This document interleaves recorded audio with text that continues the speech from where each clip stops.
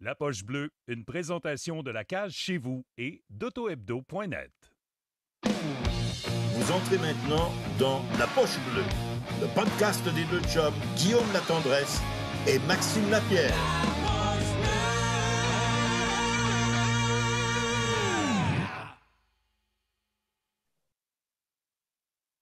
La formation de départ, de starting lineup, le numéro 40, number 40, Maxime Lapierre. Le numéro 84, number 84, Guillaume Latendresse.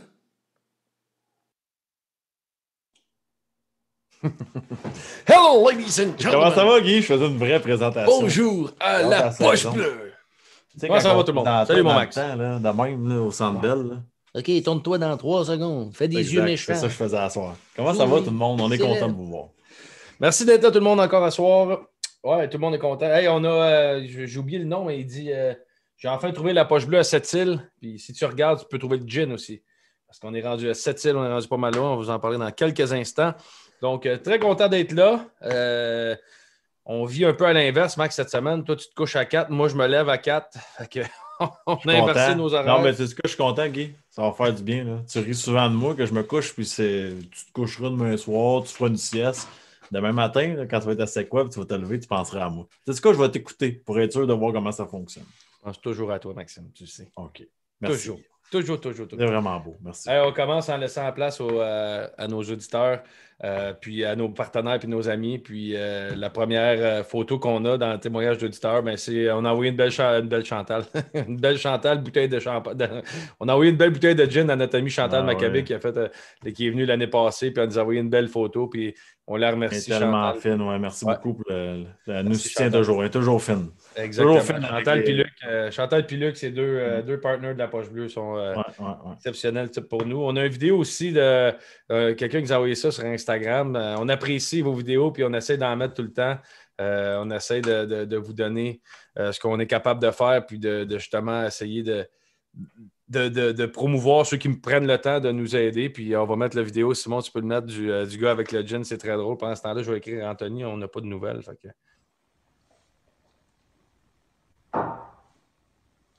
Pour tous ceux et celles qui ont déjà mangé un slap là où ça fait mal, la poche bleue, le gin du partisan. J'aime ça, le gin du partisan. Puis euh, on a déjà eu des slap shots. Euh, hein, Guy, je vais te quoi, J'ai-tu le temps pour une, une anecdote Ah rapide? OK? Ouais, C'est ton, Hey, c'est ton show, hein? J'ai déjà vu quelqu'un se faire faire des points de suture justement à sa poche bleue après avoir bloqué un lancer. Il y a eu une certaine explosion à la mauvaise place. Sérieux? De voir un gars se faire faire des points de suture là, euh, T'as-tu ça un n'avait nom? pas ouais, ça avait pas l'air à faire du bien entre les périodes, mettons. T'as-tu un nom? Non, je donne pas de nom, mais. euh, Je savais que non. Mais je peux te dire qu'il y a beaucoup de, de- de joueurs qui sont allés voir parce que ça demandait si ça m'arrive, comment, comment ça fonctionne. Ça a l'air de faire mal, pas à peu près. Ah, OK, c'est bon. Bon, euh, Anthony vient d'arriver, on le salue. Euh, on va aller le rejoindre dans quelques instants. On s'en va voir une autre vidéo. Tu sais, on a demandé de faire des vidéos pour l'intro l'année prochaine, puis on avait reçu notre chum euh, Marc Thibault la semaine passée, il y a eu deux semaines, nous avait fait une tourne. On en a reçu une nouvelle. Euh, on ne peut pas toutes les passer, là, ceux qu'on reçoit. On a choisi celle-là cette semaine. Donc, ça dure deux minutes. Écoutez ça, on revient tout de suite après avec la présentation des Cowboys Coyotes.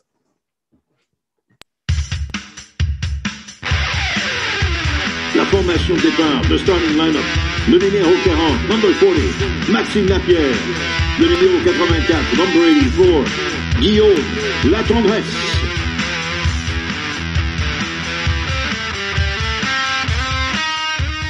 Ovechkin peut aller se rhabiller. Chris, ton lancer du revers, il est comme son one-timer.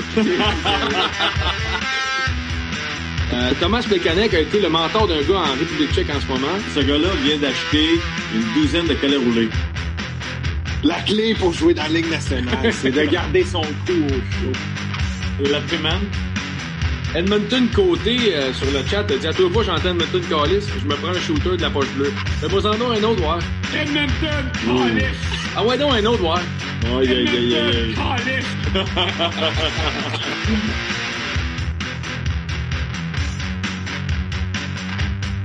Spotify, Deezer, euh, Google Music, Apple Podcast. On est sur toutes ces plateformes-là, les médias sociaux, Instagram, Facebook, Twitter. Ah, petit coin s'en vient. Là, il est où le piment? Il vient de disparaître. Breakdance tout nu dans la douche, Guillaume la tendresse. Puis chez moi des crottes à fromage.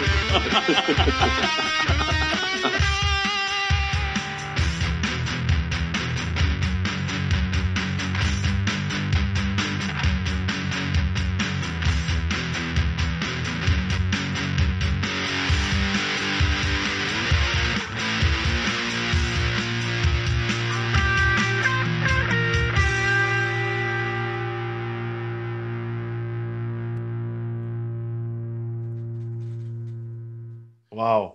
Mathieu, Yes. merci. C'était quoi? Incroyable. Mathieu Girard, le gars, Ouais. c'est-tu bon pas à peu près? Ah, c'était carré pour vrai. euh, Mathieu Gérard, merci d'avoir pris le temps de faire ça puis de, de- de- de- de nous présenter ça. Honnêtement, c'est vraiment hot. Puis on est bien Ouais. contents. Puis comme on a dit, s'il y en a d'autres que ça vous intéresse, euh, soyez créatifs. N'importe quoi, que ça soit drôle, que ça soit cocasse, que vous dites j'ai pas de chance de le. Pas grave, on s'en fout. Ce qu'on veut, c'est rire, s'amuser puis être proche de vous autres. Qu'on a bien du fun. Merci Mathieu de ton temps. Cowboy Coyote cette semaine, Max, ça ressemble à quoi? Parle-moi un peu Ben de. là, euh, je vais te le dire, Guy, c'était un peu compliqué cette semaine. Là, puis euh, il y a même euh, beaucoup de petits sons, là, puis tout ça. Je- écou- regardez ça, puis c'est, je le trouve, je le trouve très bon.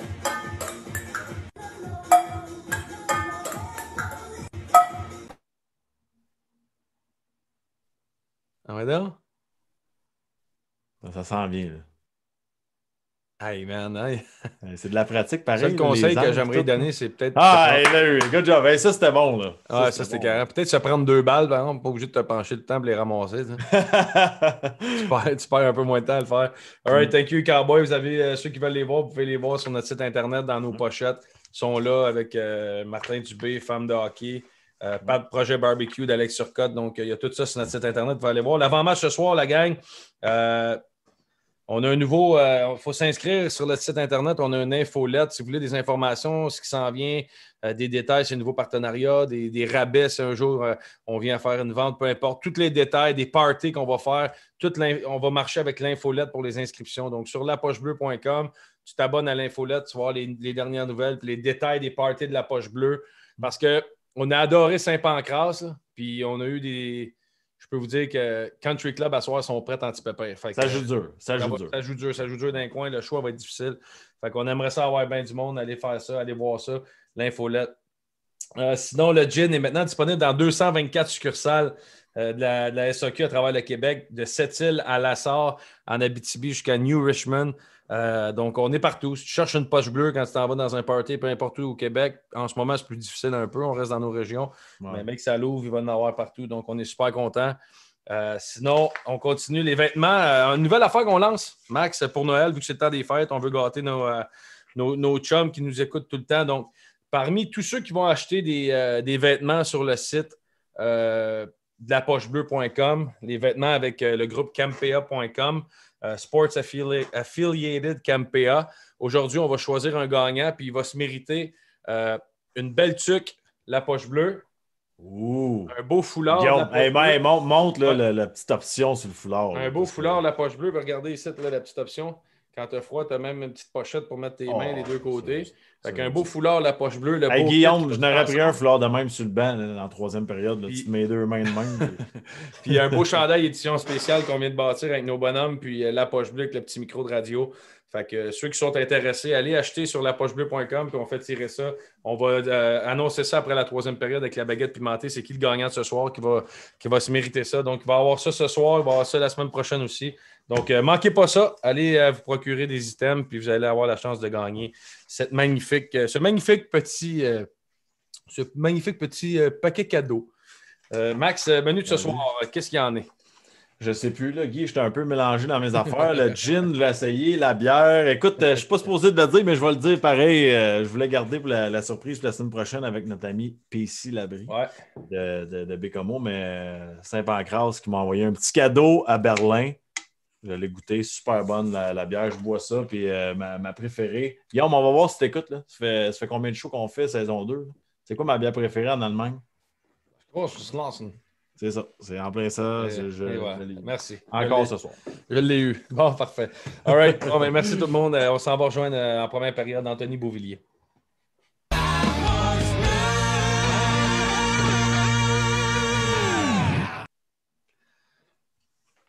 Bien hâte d'y parler, euh, connaître un peu ce qui s'est passé dans la bulle. On a jasé aussi avec euh, Jean-Gabriel Pajot qui nous a donné des petits euh, inputs. Les petits coups. ouais. Bien hâte de voir si c'est vrai.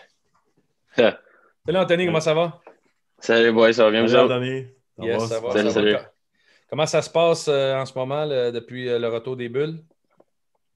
Euh, la routine de, de la saison morte, dans le fond, l'entraînement chaque, euh, chaque matin, ça glace euh, deux, trois fois semaine. Puis euh, sinon aussi, ben, à Montréal, comme tout le monde, n'a pas grand chose à faire. Fait qu'on tient assez tranquille. Fait que euh, c'est pas mal ça, je dirais.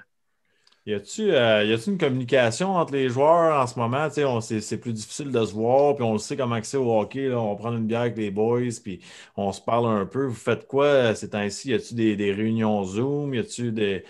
euh, je pensais un peu aux Canadiens en ce moment. Là. Euh, Je veux pas parler du Canadien tout de suite, mais tu sais, les- il y a beaucoup de nouveaux joueurs. Comment tu fais pour t'apprivoiser dans ton nouvel environnement, puis tout ça?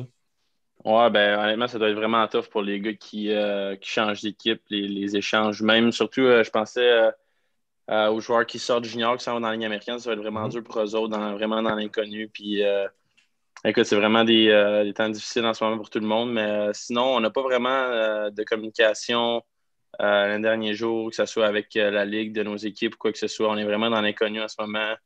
Euh, la NHL, je pense qu'il est sorti euh, au début de la semaine avec un, un, euh, un statement comme quoi qu'on avait quand même commencé. La, date prévue du 1er janvier est encore bonne. Donc, honnêtement, je ne sais vraiment pas à quoi m'attendre. Ça doit être dur mentalement, pareil. Tu te prépares, les dates sont repoussées, les dates ne fonctionnent plus. Il y a une quarantaine à faire pour les gars de l'Europe. Tu es comme, ben là, je m'entraîne, il y a ça. C'est quasiment impossible le 1er janvier. Comment est-ce qu'on fait pour, au final, essayer de piquer? là, les camps vont être deux semaines. Fait qu'il reste, quand tu rentres au camp, il faut quasiment que tu sois ready to go. Là.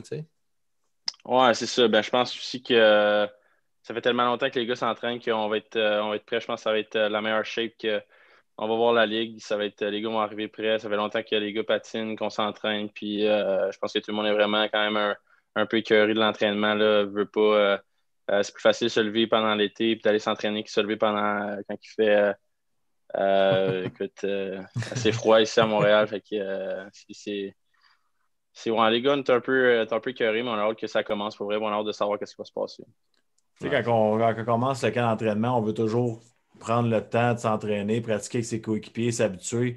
Euh, ça te fait peur un peu, justement, qu'il va y avoir moins de préparation cette année? Euh, on parle deux, trois semaines de camp, peut-être un peu plus, là, mais euh, on- personne ne le sait dans le fond. Puis on dirait, en tout cas, moi, personnellement, quand je jouais, je me disais que deux semaines, c'était pas assez, que des fois, ça me prenait trois, quatre semaines avant de, retrouver mes mains. Tu as des bien meilleures mains, mais tu comprends ce que je veux dire? Le feel du puck, tout. Ouais, ben je pense que comme on l'a vécu un peu, je pense, avant de retourner euh, pour les séries dans ça a été un camp d'entraînement assez, euh, assez court. Puis je pense que honnêtement, les gars ont vraiment aimé ça. Ça a été euh, à la place de vraiment la première pratique du camp vraiment intense, puis vraiment comme sortir toute la rue, puis toute la, la crasse que tu as dans le corps, peu importe. Ben, ça a été vraiment comme progressif, pas de match hors concours avant comme deux semaines. Fait que je pense que ça a été vraiment bon sur le, sur, euh, sur le physique, je dirais. euh, moins de gars blessés, moins de moins qui se sont étirés, puis tout ça. Fait que je pense que euh, j'ose croire que notre camp d'entraînement va être un petit peu dans la même lignée. Je pense que les gars ont vraiment aimé ça, puis les coachs je pense que ça, ça a un petit peu changé la donne un peu pour eux autres aussi. Est-ce que tu dis que tu n'as pas de, vraiment de discussion avec des joueurs ou les coachs ou les dirigeants, mais même un gars comme Barry Trotz qu'on connaît très proche de chez les joueurs, il n'a il a pas vraiment de suivi ou est-ce qu'il vous a donné un plan ou ce qu'il s'attend ou des objectifs? Euh, ben, je pense que les coachs puis même les directeurs généraux sont un petit peu dans l'inconnu aussi, mais Mhm. euh, écoute, avant qu'on parte pour la, pour la bulle pour les séries, on avait vraiment des, on avait des euh, appels conférences d'équipe une fois, une fois semaine pour se faire donner des nouvelles, que ce soit Lou, que ce soit Barry qui nous, euh, qui nous appelait. Puis euh, je dirais un peu moins de communication euh, ces derniers temps, je dirais dans le dernier mois. Mais sinon, ouais, Barry m'a appelé, ça fait même pas un mois de ça. Notre assistant coach m'a appelé. Fait que je pense qu'on a vraiment une famille les Islanders ici, on se tient vraiment proche. Puis c'est ça qui fait un petit peu notre, notre succès. Là. Tout le monde proche, tout le monde. tu sais, il n'est pas nécessairement obligé de m'appeler puis prendre des nouvelles de moi. Puis des choses comme ça, je pense. Puis là, tu as, commencé jeune, pareil, dans, dans la Ligue nationale. Là. Tu penses que ça t'a appris de quoi, euh, dans- justement, pour une situation un peu dramatique comme cette année? Tu commençais à 19 ans, c'est pas facile. Là. euh. Euh, non, mais je pense qu'honnêtement, personne n'était vraiment prêt pour une pandémie comme ça, que ce soit Mhm. le hockey, que ce soit n'importe quoi dans le monde. Je pense que euh, c'était assez particulier comme situation, mais je pense que tout le monde va bien s'en sortir. Puis euh, on va voir la lumière au bout du tunnel. On espère euh, À un moment bientôt. donné. Ouais. Dernière question là-dessus. euh, Est-ce que justement c'est tough un peu? Tu venais de. Tu as eu des bonnes saisons avant, mais on dirait que cette année, tu as vraiment pogné ton swag. Là, dans la bulle, on a senti que euh, le chest, tu as, vraiment pris confiance, puis on a vraiment vu ton talent, puis ce que tu peux emmener aux Islanders. Ça fait chier de ne pas avoir une saison complète, puis vraiment dire ben, je peux faire mes stats sur 82 matchs, puis me comparer à d'autres qui ont été là avant. Euh, ben, honnêtement, tu viens de me le faire penser. Je pense, j'avais pas vraiment pensé à ça avant pour vrai. Excuse-moi. euh, non, non, pas. Mais euh, non, je pense que je suis, euh, je suis une bonne place mentalement. Je pense que, comme tu as dit, j'ai connu des bonnes séries. Je, je me sentais confiant sur la glace. Puis j'ai juste, honnêtement, juste hâte de, de recommencer à jouer pour justement recommencer sur cette lancée-là. Puis vous le savez, quand tu joues du bon hockey, c'est, tellement. la vie est tellement plus facile. Puis on dirait que tu pèses 400 livres moins lourd. Non, c'est ça. Puis justement, on parle de la pression, tu parles de- de- d'être stressé au hockey, puis tout. Tu as de l'expérience, mais pour les jeunes, là, de rentrer, euh, de- ça va être une saison écourtée. Tu sais, tu sais comme moi que quand tu rentres dans la Ligue nationale, tu te bats pour ta place, puis, puis tout ça. Tu as, l'impression que cette, cette fenêtre-là elle va être vraiment. Tu sais, elle va être petite cette année. Là? Euh, arriver au camp, euh, c'est c'est quoi le plan, justement, avec des, des jeunes puis les nouveaux joueurs dans l'équipe? Ouais, ben, je pense que euh, écoute, ça va être vraiment dur pour les nouveaux joueurs, je pense, euh, faire sa place en si peu de temps. Mais écoute, je pense que chaque jeune joueur, surtout les jeunes joueurs, ont, euh, c'est jamais mauvais d'aller dans la Ligue américaine. Puis ça va être vraiment basé sur un ou deux matchs, je pense, les camps d'entraînement, puis les pratiques. Fait que ça va être. comme j'ai dit, les gars, tous les gars vont arriver prêts, tout le monde va être en forme. Ça fait tellement longtemps qu'on s'entraîne que j'ai aucun doute là-dessus. Si on te ramène au début de, de ta carrière, justement, là, euh, ton repêchage, puis les entrevues ou les, les testings, ces choses-là, comment tu as vécu ton, repêchage dans la nationale? Ah, c'était c'était euh, encore ce jour euh, un ou le plus beau jour de ma vie. C'était euh, c'était en Floride, mon repêchage, j'ai vraiment été chanceux. Donc, on a passé 10 jours en Floride. C'était tellement cool pour vrai. Je je m'étais mis vraiment aucune pression au repêchage. Je savais que j'allais sortir tôt ou tard. Fait que c'était euh, mon but, c'était vraiment juste d'être repêché puis faire mes preuves par après. Puis on est arrivé le vendredi soir. euh, euh, au, repêchage. C'est tout le temps le vendredi, la première ronde, samedi, la 2, 3, 4, jusqu'à 7, jusqu'à 7 rondes. J'avais t- j'étais, j'étais nerveux, mais je n'étais pas nerveux en même temps. Je savais qu'à partir de 23, j'allais peut-être sortir. Puis, je me rappelle, mon père en parle encore. j'étais, j'avais peur d'avoir chaud, d'avoir une trace comme de, de sueur d'un fesse. Fait que j'allais tout le temps, j'allais tout le temps aux toilettes pour comme euh, cool down un peu. Puis euh, je me rappelle Mario Sorrentino quand les Islanders m'ont repêché. Euh, après ça, il, demandait à mon père comme il, Anthony, étais-tu nerveux ou quoi que ce soit? Il dit non, non, il avait juste vraiment peur d'avoir d'avoir Il avait chaud, juste la remouillée. de- Ouais, c'est ça. Ça, J'adore Comment, ça. euh, tu sais, on parle souvent aux, aux gens là, qui, qui nous regardent, le, le repêchage, le repêchage, c'est important, c'est un beau moment, mais es-tu capable de nous donner un peu de détails sur tes rencontres avec d'autres équipes? Est-ce que les Highlanders, tu sentais qu'ils t'aimaient plus ou Ouais. whatever? Non, honnêtement, vraiment pas. Il y a tout le temps des deux, trois équipes que les, les entrevues sont un petit peu plus euh, un peu plus touchées. Je pense que les Islanders, c'est une de ceux-là. C'est vraiment un- les Islanders qui font passer un test psychologique de comme 200 questions. C'est vraiment une entrevue qui est quand même assez longue, puis pas beaucoup de questions un à un avec euh, le recruteur. Puis euh, c'est ça, c'est les Islanders, c'était ça, c'est un- c'est vraiment un long test, mais sinon, c'est c'est sensiblement tout le temps les mêmes questions, les entrevues du repêchage, que ce soit euh, n'importe qui pour vrai. euh, je me rappelle, mon agent il avait fait le tour des équipes avant, euh, avant le- mes entrevues, avant le combine, en fait. Puis il m'avait dit que New Jersey n'était vraiment pas intéressé. Puis Ah ouais? qu'il allait probablement juste pas me repêcher. Puis c'était, honnêtement, c'était ma meilleure entrevue. On a ri, on a parlé, on a juste vraiment comme. C'était pas nécessairement des questions de hockey. Puis on, euh, je me suis. Je l'ai appelé mon agent après, je dit je peux pas croire qu'ils veulent pas me repêcher. C'était honnêtement ma, ma meilleure entrevue. Puis euh, fait que c'est, quand même assez spécial. C'est peut-être aussi des. des euh, pas des faux espoirs, mais ils disent qu'ils ne vont pas te repêcher pour que personne ne sache qu'ils, t'aiment ou qu'ils veulent te repêcher plus tard dans, dans, dans le draft ou quoi que ce soit. Fait que, euh, mais ouais, c'est vraiment sensiblement tout le temps la même chose, les, les entrevues, que ce soit avec, euh, Anaheim, Montréal, peu importe. Mais par exemple, ton entrevue avec Montréal pour un Québécois, là, c'est c'est passé, là, mais c'est- t'étais-tu stressé? De- justement, là, on va le dire sans gêne au podcast, suais-tu de l'arrêt? Euh, ouais, pour vrai, euh, honnêtement, c'est la seule entrevue que comme je m'étais comme trompé de porte. Notre combine était à l'aréna des, des Sables de Buffalo, puis chaque équipe avait comme une suite dans le, autour, dans le fond, autour de la glace. Puis euh, je m'étais comme trompé de porte. Je sais pas pourquoi, j'avais pas checké la bonne porte, puis j'étais comme une minute en retard, puis j'avais comme couru à- jusqu'à la porte des Canadiens, puis en même temps, Marc Bergevin avait rentré, fait que j'ai dit, OK, je suis pas en retard. Puis euh, 30 secondes après, on va à la porte, puis euh, j'ai eu mon entrevue avec les Canadiens, mais oui, j'étais quand même assez stressé. Euh, je me rappelle, je savais pas trop quoi dire, puis euh, les Canadiens venaient de signer euh, Jeff Petrie dans, dans ce temps-là, puis j'avais dit, ah, euh, j'aime vraiment la signature de Jeff Petrie, je pense que c'est vraiment bon pour le Canadien. Genre, honnêtement, j'étais tellement gêné, j'étais tellement comme euh, timide de rencontrer toutes les, les faces familières, je dirais, que, Mm. Que, que je vois souvent à télé, tout ça, fait que c'était- c'est quand même drôle.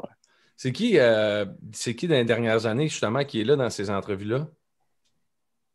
Euh, avec les Canadiens? Ouais? Euh, honnêtement, ça fait quand même une, une couple d'années. là. Je, je, je sais vraiment pas. Je me rappelle vraiment pas qui était là pour. euh, Mais il y a pas mal J'avais vraiment la vision comme Ah ouais, t'es tunnel, t'es nerveux. Je me souviens, moi aussi. Ah je me ouais. souviens juste, moi, c'était Trent McClary qui avait ouvert la porte, là, celui Ouais. qui avait reçu la rondelle. Puis c'était lui qui avait. C'est rien que ça que je me souviens. Le reste, je me souviens de rien. puis justement, tu t'en vas au camp d'entraînement, puis là, tu fais le club à, à 19. Euh, T'attendais-tu à ça? T'avais-tu des attentes sur ta saison une fois qu'on te confirme? Tu sais, c'est- gros, là, faire la Ligue nationale à 19 ans. Euh, honnêtement, je m'attendais vraiment pas à faire l'équipe. Je m'en allais là euh, à l'optique de vraiment gagner de l'expérience. Euh, on allait avoir une bonne équipe à Shawinigan. Je dis, je vais aller prendre le maximum d'expérience. Je vais essayer de rester le plus longtemps possible, puis on verra qu'est-ce qu'il va donner. Puis euh, je voulais vraiment gagner à Shawi. Je voulais revenir à Shawi puis vraiment gagner. Je savais qu'on allait avoir une bonne équipe. Fait Ouais. c'était win-win pour moi. Rester ou redescendre, c'était c'était vraiment euh, win-win. Puis euh, finalement, ils ont décidé de me garder, mais j'ai jamais été sûr à 100% que j'allais rester toute l'année. J'étais in and out du line-up. Euh, ils m'ont donné ma lettre de, de- pour que je me prenne un appartement, mais ça a été jamais. J'ai jamais eu de rencontre avec le directeur général qui me dit OK, on te garde pour le reste de l'année. Fait que j'ai toute cette année-là, j'ai été en contact encore avec Martin Mondou, le directeur général des, des cataractes. En, tu sais, il m'échangeait, euh, on échangeait des textos, on s'appelait des fois, as-tu des nouvelles, qu'est-ce qu'ils disent, qu'est-ce qu'ils disent pas?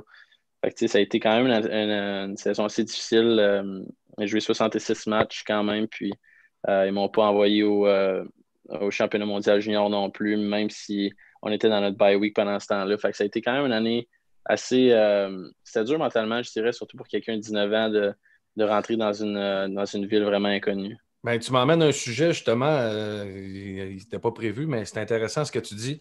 Ils t'ont pas envoyé au World Junior. En ce moment, le- les Rangers doivent prendre la décision avec Alexis Lafrenière. S'ils l'envoient, on ne sait pas, ils ont jusqu'au 7 décembre. Avec le recul, aurais-tu aimé ça, avoir l'opportunité d'y aller?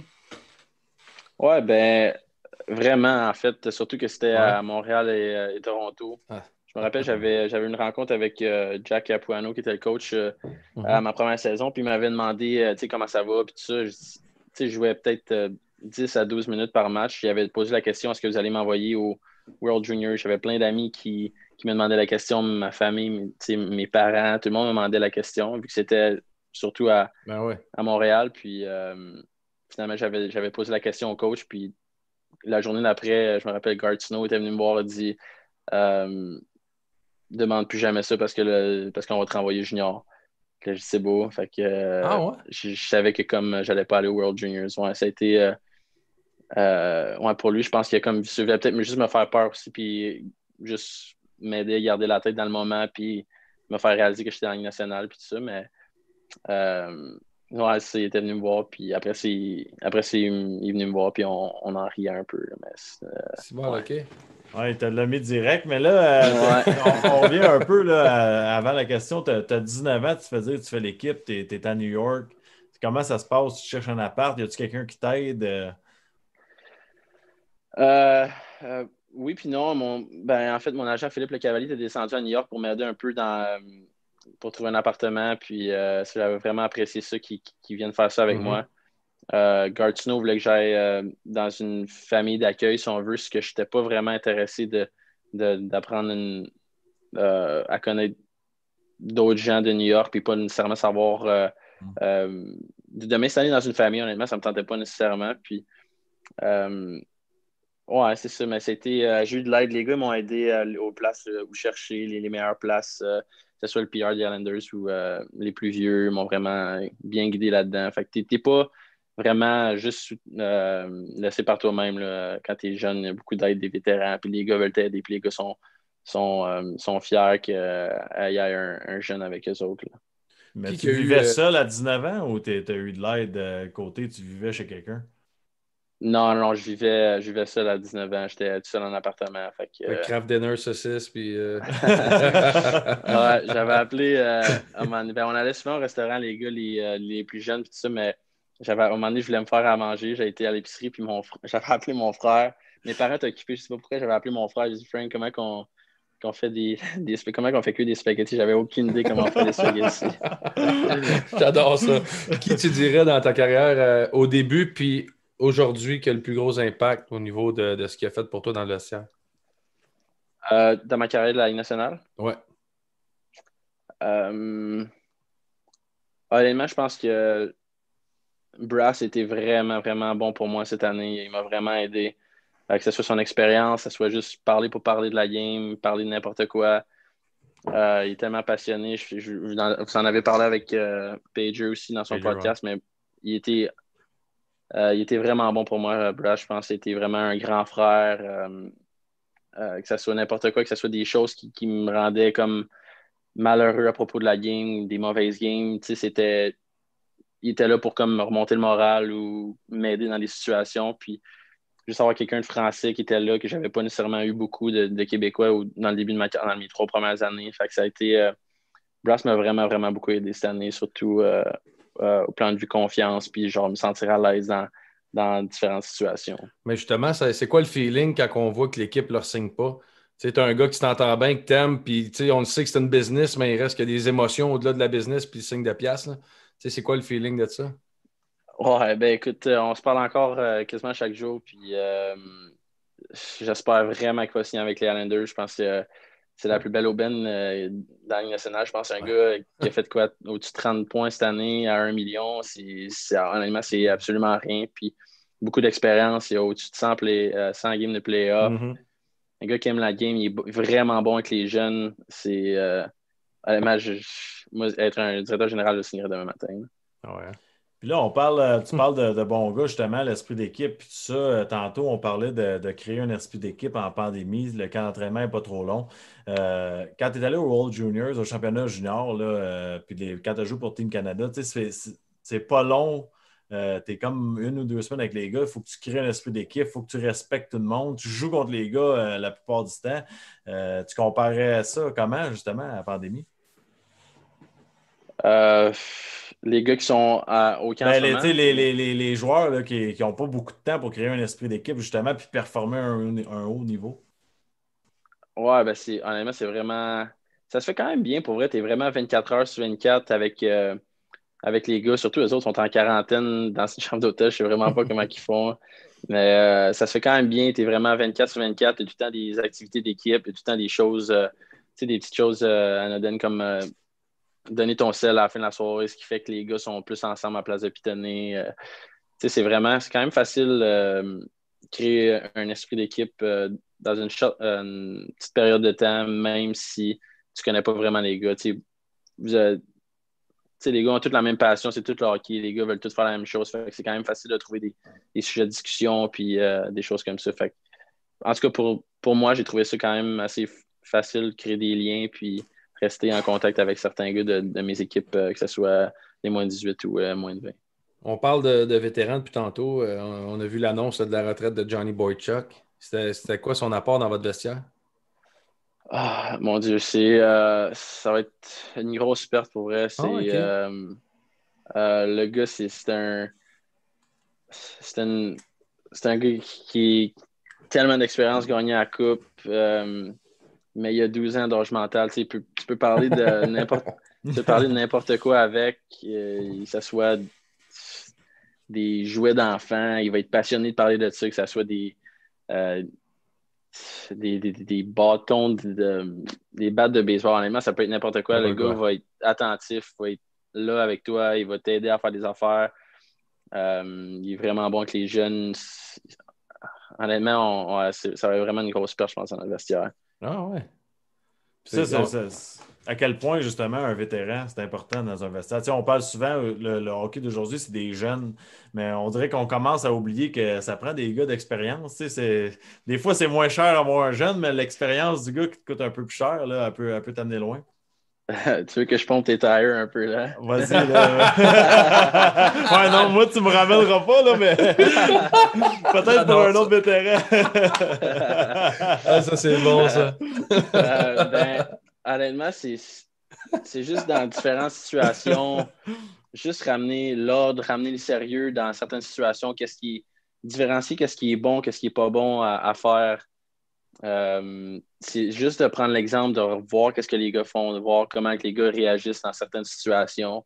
Mhm. Euh, il y a tellement de vécu, là, les gars qui ont joué, les vétérans, mettons, de 8 à de 8 saisons, là, ils ont du vécu, ils ont vu des, Mm. comme on dit à mon Québécois, ils ont vu des murs, puis ils ont vu des pas murs. C'est euh, c'est vraiment de- juste de, de regarder, puis de lire, que ce soit des expressions, que ce soit des, des gestes. Puis ouais, c'est vraiment important pour vrai des vétérans dans une chambre. On a euh, J.S. Perron, là, qu'on connaît très bien, qui dit que tu étais un Viper, toi aussi, euh, dans le 3 d'été pendant 6 ans avec les Vipers 97. On a Pierre Dagenet qui dit Good job, les boys. Qu'on salue la gang qui. N'hésitez pas si vous avez des questions pendant qu'on jase pour, euh, pour Anthony, on va y poser pendant qu'on est là, il n'y a pas de problème. Euh, c'est qui, tu dis, tu sais, on entend souvent là, Crosby, McDavid, McKinnon, tous les, les- les joyaux de la Ligue nationale qu'il y a en ce moment. C'est qui, toi, qui t'a impressionné le plus? Euh, ben, je dirais, quand j'ai rentré dans la ligue, pour vrai, euh, le joueur qui m'a impressionné, tu sais, je, je regardais souvent les, les Crosby, les, les Malkin, les gros noms, puis tout ça, mais le joueur qui m'a vraiment impressionné le plus quand j'ai embarqué sa glace contre, ça a été Phil Kessel. Ah ouais? Et euh, vraiment, il était vraiment vite. sa shot était vraiment. J'étais vraiment impressionné pour vrai de le voir à quel point il, il patinait vite, puis il faisait. tu sais, Il shootait le puck vraiment bien, il passait le puck, faisait des beaux jeux. Euh, honnêtement, ça a été le joueur qui m'a impressionné le plus euh, quand je suis rentré dans la ligue. Wow. Crème, c'est. Ah, je suis surpris, rare. d'en- je suis surpris Ouais. d'entendre ça. T'étais- Qu'est-ce qui Ouais. t'a surpris que il, il avait pas l'air si en forme que ça, puis finalement il performait? Ah ouais, ou- c'est non, mais c'est ça, il a- il a- honnêtement, il a l'air de rien. Le gars, il, il a l'air de, de comme juste pas être là, puis finalement, il- dès qu'il touche le puck, il y a quelque chose qui se passe. Ben, Ah ouais, hein? En fait, la, la, la game contre qui on, quand on a joué contre pour la première fois, j'ai j'ai vraiment resté surpris. Puis euh, je trouvais qu'il faisait vraiment beaucoup de choses à la glace, plus que juste. euh, ben, on voit beaucoup d'extraits Ouais. qui, qui, qui, qui fait pas les choses nécessairement bonnes, mais honnêtement, j'ai vraiment été resté surpris. Ah, c'est bon c'est intéressant, c'est le fun d'avoir. euh, Puis justement, tu parles de Phil Kessel t'a impressionné, puis plus jeune, c'était qui ton, ton gars que tu regardais? Tu te dis, j'aimerais ça être son style de jeu-là ou ton idole de jeunesse? Euh, J'aimais vraiment beaucoup euh, Patrick Elias puis Zach Parise. Je sais Wow. pas pourquoi, j'ai été quand même un, euh, un fan des Devils de, New Jersey à cause que mon grand-père n'arrêtait pas de dire tout le temps Brodeur, c'est le meilleur, Brodeur, c'est le meilleur. Fait que j'ai comme resté stické sur les, sur les Devils, puis je regardais beaucoup leurs matchs, mais euh, ouais, Zach Parise, ça a été vraiment un, un joueur que j'ai euh, je regardais beaucoup. Puis euh, ben aussi, j'avais Sidney Crosby aussi, ça a été vraiment quelqu'un qui comme qui je voulais, euh, je voulais jouer comme lui. On parle souvent de la, la tradition. Mettons, à Montréal, les jeunes ils arrivent, ils voient le vestiaire. Puis tu sais, quand tu arrives dans le vestiaire des Highlanders, tu sais, ils ont gagné des Coupes Stanley, puis tout ça, ils ont eu des, des- des équipes euh, incroyables. C'est quoi le, le- le- le message qui se passe à l'intérieur? Euh, ben, il y a- il y a les, coupes- les quatre Coupes Stanley, les, les bannières, de- des, des photos de quand eux autres ont gagné. Puis, euh, c'est vraiment une famille. Pour vrai, on les voit souvent quand même, les, les, les joueurs quand- qui ont gagné. On les a vus beaucoup cette année. On a eu deux retraits de chandail de Butch Coring puis de euh, John Tonelli. Fait c'était, euh, c'est le fun de juste parler avec eux autres de comment c'était dans leur temps. Puis, euh, ils nous donnent des conseils. Puis, ils veulent, ils veulent vraiment qu'on gagne. Fait euh, les Islanders, que ce soit les, anciens ou les présents, c'est vraiment honnêtement une, une grosse famille.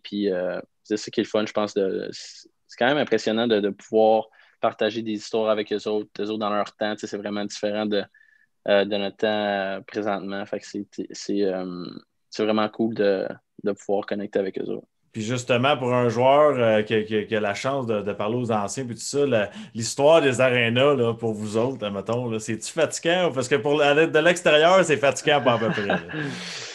ben ouais, un peu, je dirais. ben, il nous reste juste une saison ou celle qui s'en vient Ouais. à jouer au Nassau Coliseum. Après ça, on va rentrer à Belmont. Euh, je pense que vraiment tout le monde est excité, euh, euh, excité de ça. Puis, mais ouais, c'est vraiment quelque chose. c'était, vraiment gossant un peu là, de, faire la navette entre Brooklyn puis Nassau. C'était, écoute, on était à 5 minutes. Moi, j'étais à 5 minutes de, de la Via Arena, le Nassau Coliseum, puis j'étais à 50 minutes en train de, de Brooklyn. Ça, parce que euh, pour les gens le savent, vous voyagez en train, là, c'est ça? Ouais, ben il y a des gars qui, qui euh, font le trajet en auto. Il y a des car services qui nous sont attribués où les gars prennent leurs autos puis ils vont, mais tu n'es pas dans le trafic. Tu passes de. Faut que tu passes le pont, faut vraiment que tu t'en ailles dans la ville de New York, tu en ailles à Brooklyn. Puis euh, ouais, c'est 50 minutes euh, de train. Des fois, il y a des, des partisans. Donc, c'est c'est- c'est vraiment. Quand tu joues à Brooklyn, c'est quasiment un match sur la route. là. Ah ouais, hein? C'est Ouais. c'est intéressant, c'est bon. On a une question ici de. euh, attends, j'essaie de retrouver le nom. Ouais, c'est ça, de Jean-Fran- Jean-François Boilly qui dit Qui est le gardien le plus difficile à affronter ou c'est qui qui a ton numéro? Euh, c'est tough pour vrai. Euh, euh, je sais pas, pour vrai, c'est c'est vraiment une question difficile. Euh, Ben, je peux Moi, dans, idée. moi, dans mon temps, c'était facile. Je disais toujours, c'est pas mal tous les gardiens. Fait que c'est plus dur pour toi. Non, mais c'est dur parce qu'il y a des gardiens de l'Ouest qu'on voit peut-être euh, deux fois par année ou euh, tu sais, c'est c'est pas facile, mais euh, je sais pas, on dirait que je suis intimidé d'aller euh, de, de lancer contre euh, Jonathan Quick, qui est tellement comme style un peu bizarre, vraiment bas. euh, tu sais pas trop si où ça va être où les trous, puis je dirais, je dirais probablement à Jonathan Quick. Ah, c'est bon. là, quand, bon. quand t'arrives pour shooter contre un gars comme Carey Price, là, nous autres, on shootait contre des pratiques, puis j'avais l'impression que je m'en allais contre un mur. J'ai Le gros pouf. j'ai eu des gardiens incroyables dans ma carrière, mais lui, tu le regardais, puis tu voyais pas de trou pendant tout. là. Ça- C'est-tu dans votre tête quand vous jouez contre le Canadien ou pas Ouais, c'est pas- c'est sûr que ça, ça vous affecte un peu, là, mais. Ouais, ben, c'est comme, euh. Ben oui, je pense que oui. C'est c'est comme euh, avoir Sidney Crosby sur la glace. Tu es tout le temps un peu euh, aware de il va et tout, qu'est-ce qu'il va faire. Puis Mhm. euh, c'est un peu la même chose. Tu penses deux fois avant de, avant de shotter contre euh, Carey Price, mais c'est probablement un des, le ou un des meilleurs goalers dans la ligue. Fait que c'est sûr que ça. si tu commences à perdre par trop, tu sais que ça va être dur à revenir. Ça. Là, si on va du côté un peu plus euh, poche bleue, off the ice, là, c'est- là, tu as eu ta date avec Anna là? C'est quoi qui s'est passé, là? On peut savoir l'histoire ici, à Montréal. Euh, non, non, j'ai pas eu la, la date, il n'y a rien qui s'est passé, mais euh, c'est passé, ça va faire quasiment un an, là, ça va faire un an au, le, le 25 décembre. J'ai envoyé un tweet à Anna Kendrick, j'ai juste marqué hi. Puis c'est- ça a été comme un petit, petit running gag dans la famille. On écoutait euh, à Noël, on écoutait des, des chansons sur YouTube, puis elle, faisait une annonce Lays. Je pense qu'elle passe encore à la télé, puis euh, on a décidé de mettre une de ses tunes euh, sur YouTube. Puis c'était vraiment une actrice puis une chanteuse que j'ai vraiment trippé depuis que euh, je suis plus jeune avec ses, euh, ben, films euh, Pitch Perfect. Puis euh, mon cousin m'a comme dit euh, T'es pas game d'y écrire. Puis à la place d'y envoyer un message comme privé, je me suis dit C'est sûr qu'elle le verra pas. J'ai dit ah, Je vais y envoyer comme. je vais y envoyer public. Puis euh, finalement, ça a vraiment explosé le- les réseaux sociaux. Là. Ça, a été, euh, ça a été vraiment partout. Il y a du monde qui qui écrivait des, des, des commentaires comme quoi que j'étais un héros, puis des affaires de même juste pour avoir son attention à elle. Puis euh, finalement, elle a, elle a répondu au tweet. Puis ouais, C'était quoi la réponse déjà? Je me rappelle pas, moi. Elle je pense qu'elle avait dit euh, euh, merci de, de- les réponses au, au tweet. Ça a été euh, mon divertissement pendant les derniers jours. Euh, je, peux pas croire le, le- fait qu'un homme peut être aussi héros ou quelque chose comme ça. C'est carré, ça, j'adore ça. Raconte, euh, raconte un peu. euh, euh, on a tout eu un, un rookie party puis un- une soirée. Là, ça se passe comment? Puis le tien, c'était où? C'était comment ça? On, dirait qu'il y a une bonne anecdote avec il y ça. a, il y a- il y a hâte de la compter. Ah, ouais. Ben, on était. euh, nous autres, où qu'on habite, c'est à Long Island. Fait que se rendre la ville, c'est 40 minutes. Fait que tous les gars, on, on prend le train, on s'en va en ville, puis on s'en va dans un, euh, dans un petit bar avant d'aller souper. Puis euh, les gars ils arrivent, puis là, ils viennent me voir, ils, disent, euh, ils me demandent des informations sur euh, Barzell, comme comment qu'on pourrait, genre, le, le prank, puis tout ça.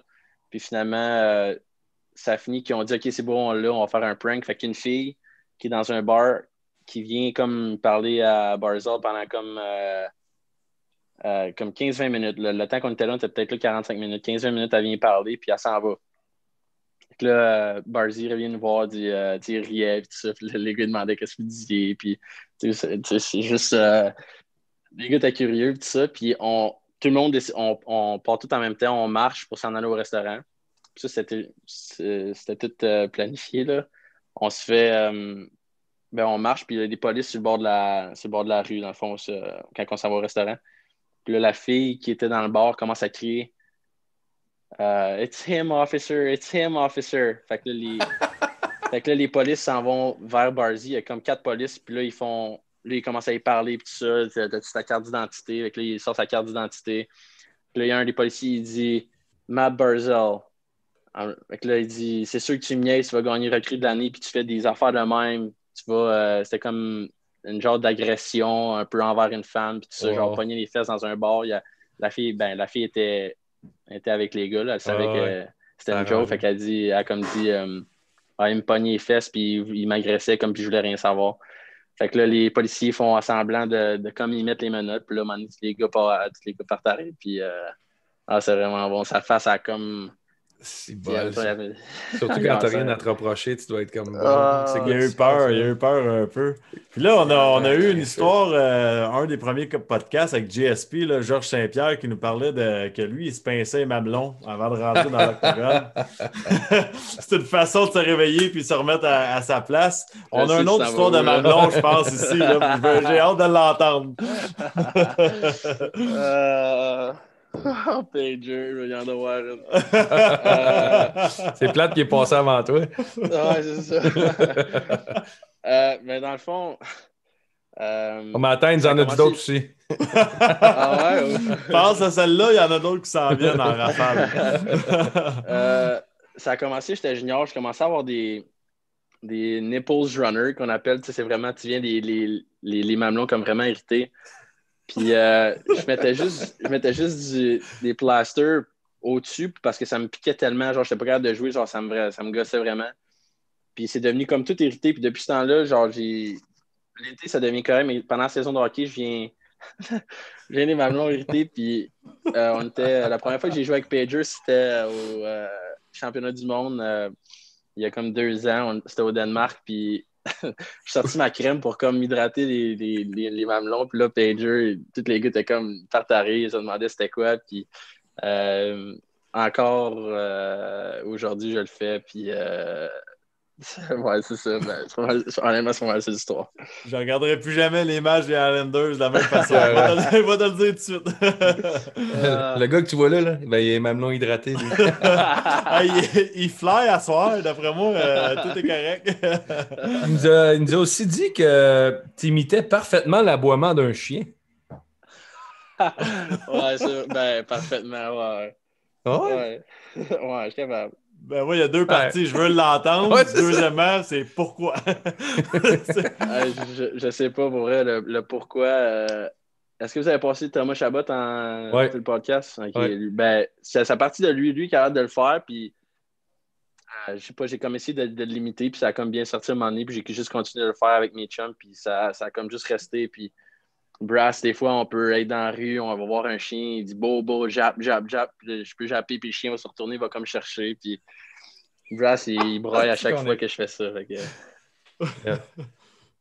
Fait que, euh, Guy, c'est toi qui demande ou c'est moi qui demande? ou, euh? On a le faire.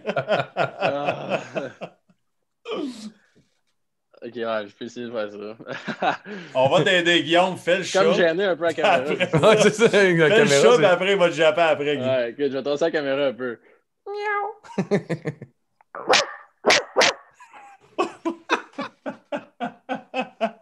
Ah, c'était écœurant, ça, j'adore Ah, ça. J'ai jamais vu un chien avec les mamelons aussi lisses. Puis euh, la dernière que Pager nous a donnée, c'est que ça a l'air que quand vous allez souper sa route, tu oublies souvent ton portefeuille. Non, ça, c'est pas vrai, ça. C'est pas vrai, ça, Pager. C'est un. Oh, le tabarnak. Non, c'est pas vrai, ça. Ça, c'est pas vrai, ça. J'ai tellement envie de vous en dire, là, mais je peux pas. Ah, si tu veux, Non, c'est pas vrai. J'oublie toujours. J'ai j'ai toujours mon portefeuille avec moi. C'est un méchant crasseur, lui, hein? Non, mais Pa- Pager va faire des. Pager, quand il s'est fait échanger avec nous autres, il a dit Ok, boys, je vais faire un team dinner à Vancouver. Je dis Pager, pourquoi à Vancouver On a une grosse cédule, les boys veulent euh, souper tranquille puis aller se coucher. Ah, c'est c'est canadien, c'est plus cheap un peu. Oh, j'aime ça entendre ça. Ça, c'est bon. Ah, j'adore ça. C'est ça, justement. On a, un, le- on a un gros calendrier, fait que les gars vont vouloir dormir de bonne heure. c'est par- Ah, ouais, c'est ça. On a, euh, on a un segment qu'on appelle la petite vite dans le podcast, euh, qu'on va te poser les deux questions. C'est bien simple. là. Ça se peut que d'habitude, je l'envoie avant, j'ai oublié de te demander, mais ton foursome de rêve au golf, ça serait qui? Euh, je dirais probablement Tiger Woods, Ouais. euh, Adam Sandler, puis euh, Anna, Anna Hendricks, Kendricks. c'est assez joué au golf peut-être. ouais.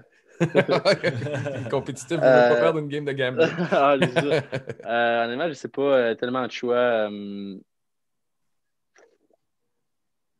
je sais pas, pourrait, euh, je serais probablement, probablement euh,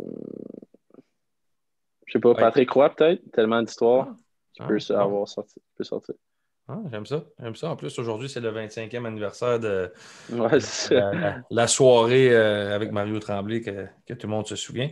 Et euh, la deuxième question, c'est euh, la demande d'autographe la plus impressionnante. Soit que quelqu'un t'a demandé, que tu dis, Kim Boyanon, que lui me demande un autographe, ou que toi t'as demandé.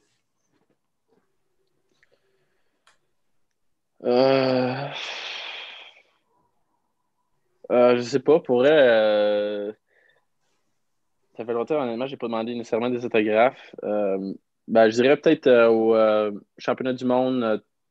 je suis quand même un gars qui, qui aime ça les, les collectionner les bâtons puis savoir avec, avec quoi les, les gars jouent, que ce soit leur Ouais. curve, leur, leur maillotche, leur flex, peu importe. Fait que je demande quand même souvent des bâtons signés des, des gars dans la ligue. Fait que je me fais une connexion de ça, une collection Ah ouais? de ça. Puis euh, quand on était au championnat du monde, ben, je- je- j'ai pogné la majorité des, des bâtons des gars qui ont signé. Fait que c'est peut-être euh, ouais, probablement ça, je dirais. C'est qui le bâton t'as demandé un gars que t'étais le plus mal à l'aise ou le plus gêné?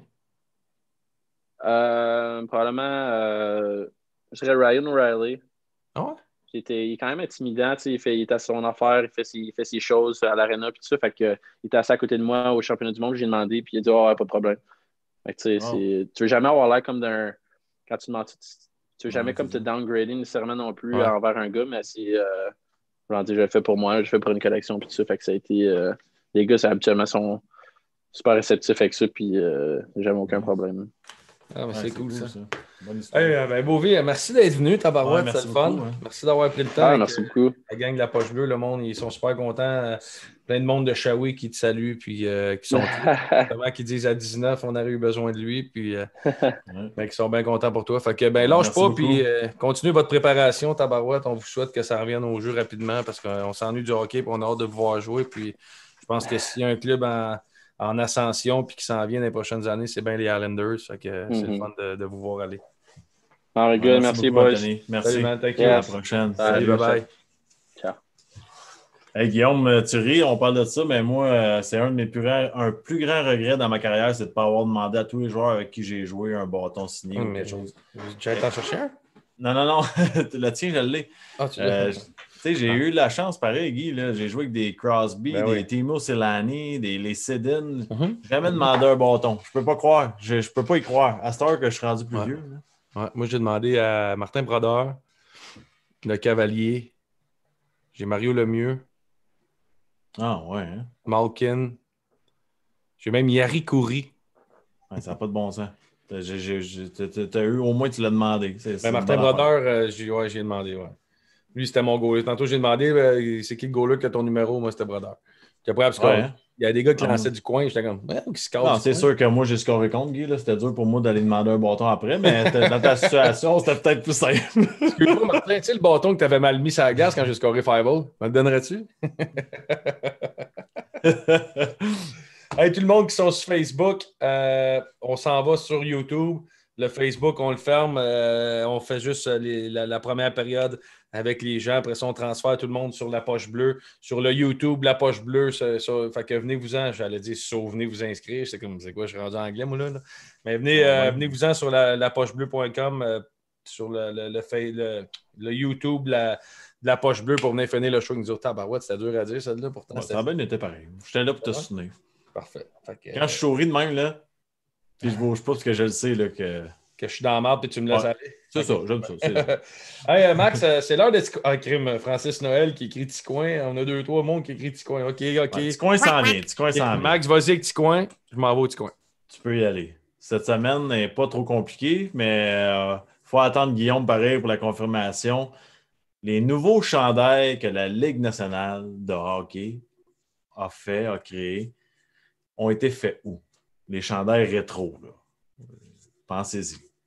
Ils ont fait des nouveaux chandails de hockey. Petit coin, arrête de niaiser. Ils ont été faits où? J'ai hâte de voir ça sur le chat. Ça devrait pas être trop dur. Dans mon garage, Frank Francis, non, c'est pas dans ton garage. Je le répète, il y a eu des chandails rétro de la Ligue nationale de hockey qui ont été faits. Ils ont été faits où? Guillaume, il l'a pas trouvé. Non, on n'a pas. Hey, c'est rare. C'est la plus facile à date. Puis on n'a pas une bonne réponse encore sur le chat. Non. New York ou Toronto, Raphaël? Non, non, non, non, non. Pensez-y, là. On a des nouveaux chandails de hockey. Rétro. Ils ont été faits où? Saint-Lin, non. C'est vrai, non. Ils n'ont pas été faits à Saint-Lin.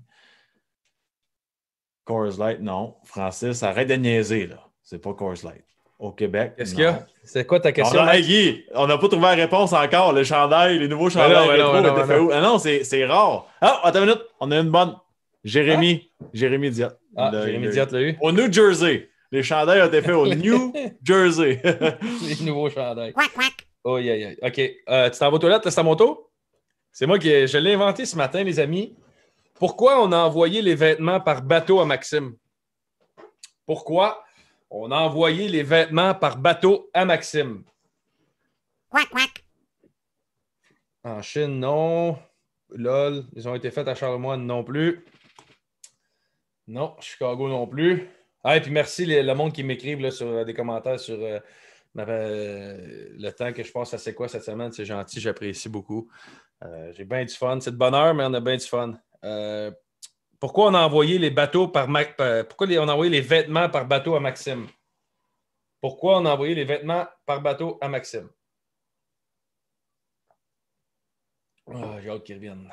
Dans une boutique cadeau de tortue. Donc, pourquoi on les a envoyés par bateau? Parce qu'ils flottent euh, pour qu'il arrive à bon port? Non. Parce que les avions n'étaient pas disponibles? Non. Hey, on n'a pas. C'est bon, Hey, ça, ça a été bon aujourd'hui, là. Créé par Ah ouais? Guillaume La Tendresse. En plus, c'était tes- Ah, Ouais. super bon. Créatif. Pourquoi on a envoyé les vêtements par bateau à Maxime? La réponse? On vous laisse Parce que- 10. OK, on laisse 10 Neuf. secondes. 8 à 5, on va faire une réponse à la bellée. 6. Si quelqu'un l'a, Edmonton, Callis! si quelqu'un l'a, euh, redonne un autre 10 secondes, Max. Si quelqu'un l'a, je donne un hoodie. Pourquoi envoyer les vêtements par bateau à Maxime? 10, 9, 8, 7, 6, 5, 4, 3, 2, 1. Ah! Parce que ce sont des produits dérivés. hey, petit coin, je l'aime. Coin, là? Oh, excusez les amis, excusez. Sais-tu quoi, petit coin, là, avec son logo, là, il est temps qu'on y mette un, un vrai chandail la prochaine. Ouais, ouais, on va travailler là-dessus. Mais merci Vicky. Vicky, elle l'a entendu un matin puis elle rit encore. Euh, c'est bon, ouais. Fait que pourquoi on a envoyé les vêtements par bateau à Maxime? Parce que ce sont des produits dérivés. Oh, il a encore, j'aime ça. Oh, oui, j'étais fatigué. Hey, le monde est ri, le monde l'aime, mais j'étais fatigué.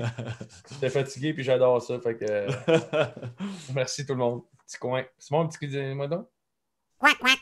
Et voilà. On s'en va. N'oubliez pas, on est sur toutes les plateformes, le Spotify, Google, Apple, peu importe, Instagram, Facebook, perso.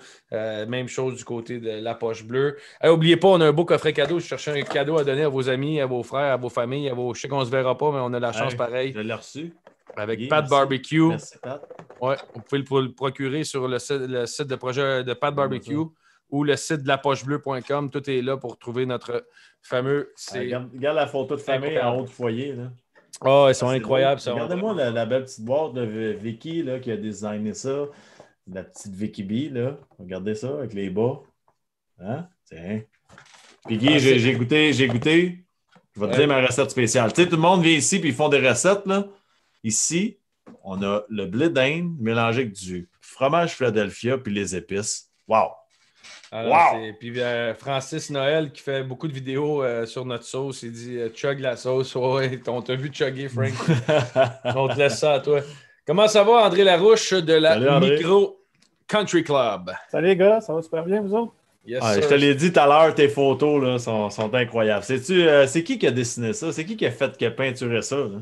Euh, écoute, c'était- c'est le gars qui a fait notre logo. Euh, quand on a parti de l'entreprise, on cherchait vraiment quelqu'un qui avait un portfolio euh, côté sportif vraiment développé. Puis euh, on, avait, on avait peu de moyens aussi quand tu pars une entreprise. euh, t'as pas beaucoup de tu tout l'argent que tu as mis dans, dans l'équipement et tout ça, mais reste- il t'en reste un petit peu moins pour le reste. Mais il ne faut pas le négliger quand même. C'est qu'on a trouvé quelqu'un sur, sur Internet avec euh, un portfolio vraiment intéressant. C'est lui qui a fait notre logo principal. Puis après ça, ben, toutes les canettes, tous les dérivés, les posters, les, Ben les oui. logos de, de, de, de hoodie, de t-shirt, tout ça. Aviez-vous trouvé le nom beau. avant que lui fasse les euh, Ouais, on avait, on avait trouvé le nom avant. ouais.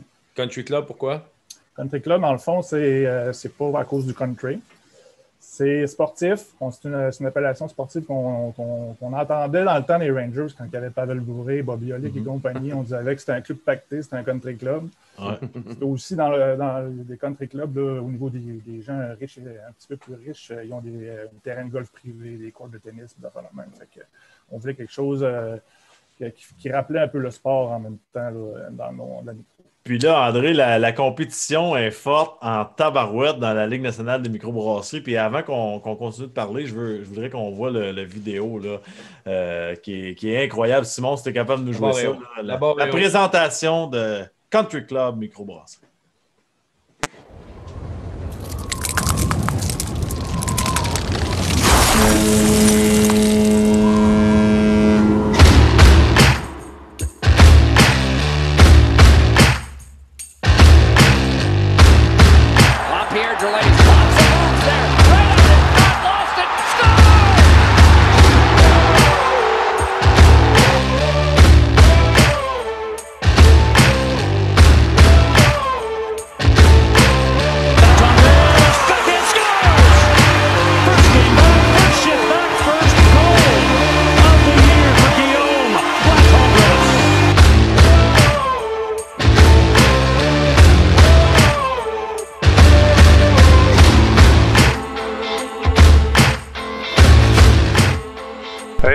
Salut la gang de la poche bleue.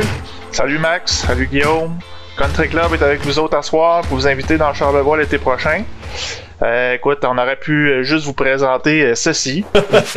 non, mais tu le sais, on les aime bien. Puis euh, eux, ils ont embarqué dans la game pour vrai. Puis je pense que ça va être probablement la première place qu'on va aller dans notre tournée des podcasts live. C'est exceptionnel, c'est vraiment bon ce qu'ils font. Allez les visiter, c'est des méchants bons jacks de party qui sont drôles au bout. Wow! Merci à nos deux porte-paroles. Euh, difficile d'en ajouter, très très difficile même. Mais euh, on va quand même faire euh, la visite virtuelle ensemble euh, pendant que je vais vous jaser ça sur mon fond d'ambiance de bord, puisqu'il n'y a rien qui nous arrête au Country Club. Absolument rien. Alors, euh, on se dirige tranquillement vers la patinoire, qui est l'endroit idéal selon moi là, pour faire un podcast euh, de la poche bleue. Hey, regardez ça, si vous seriez pas bien ici, là, sa banquette, ouh là là, que ça serait merveilleux. Euh, on met 89 places euh, à l'intérieur dans le Country Club, puis on a une trentaine de places à l'extérieur. Euh, comme vous pouvez voir, là, c'est euh, le look, l'ambiance sportive euh, à son mieux. Bon, côté bière, euh, on en a actuellement 6. Il y a une septième qui va voir le jour dans les prochains jours, prochaines semaines. Et il est fort à parier que d'ici l'été, il y a encore deux, trois autres bières qui vont s'ajouter à notre famille. Euh, comme vous pouvez voir sur les photos, euh, encore la thématique sportive qui fait partie de notre identité, autant dans les locaux que sur nos canettes. Puis c'est aussi important de spécifier que tout est fabriqué sur place et emballé sur place dans nos locaux de production.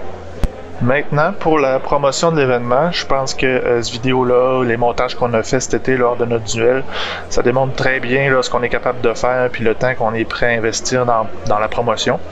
Puis euh, ça sera pas sorcier non plus d'impliquer les médias euh, traditionnels là, euh, dans la patente cet été. Euh, ce qu'il faut comprendre, et euh, Guillaume va sûrement pouvoir en témoigner puisqu'il est, venu dans la région l'été dernier, c'est qu'il y a beaucoup de monde l'été dans Charlevoix. Puis si on annonce que la poche bleue débarque, euh, ça va être sold out, ça sera pas long. Donc euh, ça va prendre un système de billetterie. Puis qui dit billet dit tirage. On a beaucoup de marchandises promo, la poche bleue aussi. On a deux anciens joueurs de la Ligue nationale de hockey. On leur met un crayon dans les mains et l'affaire est ketchup. C'est ce qui conclut cette petite tournée au Country Club dans Charlevoix. J'aimerais remercier euh, toute l'équipe de la Poche Bleue pour nous avoir donné cette opportunité.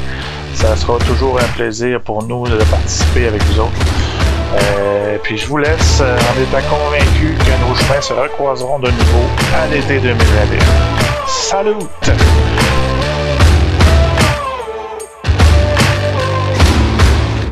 J'avais même pas Wow. entendu le salut à la fin en plus. J'adore Ah, ça. ça n'a pas de bon sens. André, sérieusement, là, on. Là, à ce soir, ça nous a shaké cette vidéo-là. là. Ça... Non, mais me aimait fait- votre système puis votre bière, là. Comme ils disent dans les boys, euh, moi, c'était c'était fini, c'était casé, puis c'était dans la rue à part de ça. Regarde-moi à soir, j'ai la morale d'une Cadillac. non, mais méchante grosse job. Honnêtement, méchante grosse job. Euh, vos installations sont incroyables. Il y a un gars qui écrit Je me suis déjà fait geler dans une bande par un gars chaud. la bande que vous avez dans le resto, il dit qu'il y a un gars chaud qui l'a gelé dans la bande.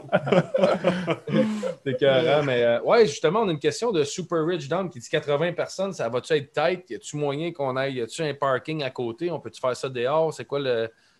Oui, on a, euh, on a vraiment un grand, un grand stationnement à l'extérieur. Euh, fait qu'il y a vraiment moyen. On, a, on peut avoir le permis de spectacle aussi. Fait faire, faire vraiment un gros party, là, genre euh, pluchette, ou ben, quoi qui va être peut-être un peu plus trop tôt pour les pluchettes, mais genre de gros party avec des barbecues et des patentes à l'extérieur pour avoir plus de personnes, puis modifier un peu le permis avec la, la RACJ là, euh, euh, pour que ça soit possible.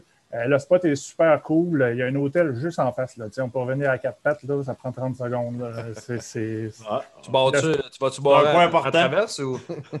Qu'est-ce que tu dit? À quatre pattes, c'est long à traverser, cette route-là. Il y a ses passants pas mal. J'espère que tu vas faire le brigadier. À minuit, il n'y a plus personne qui passe.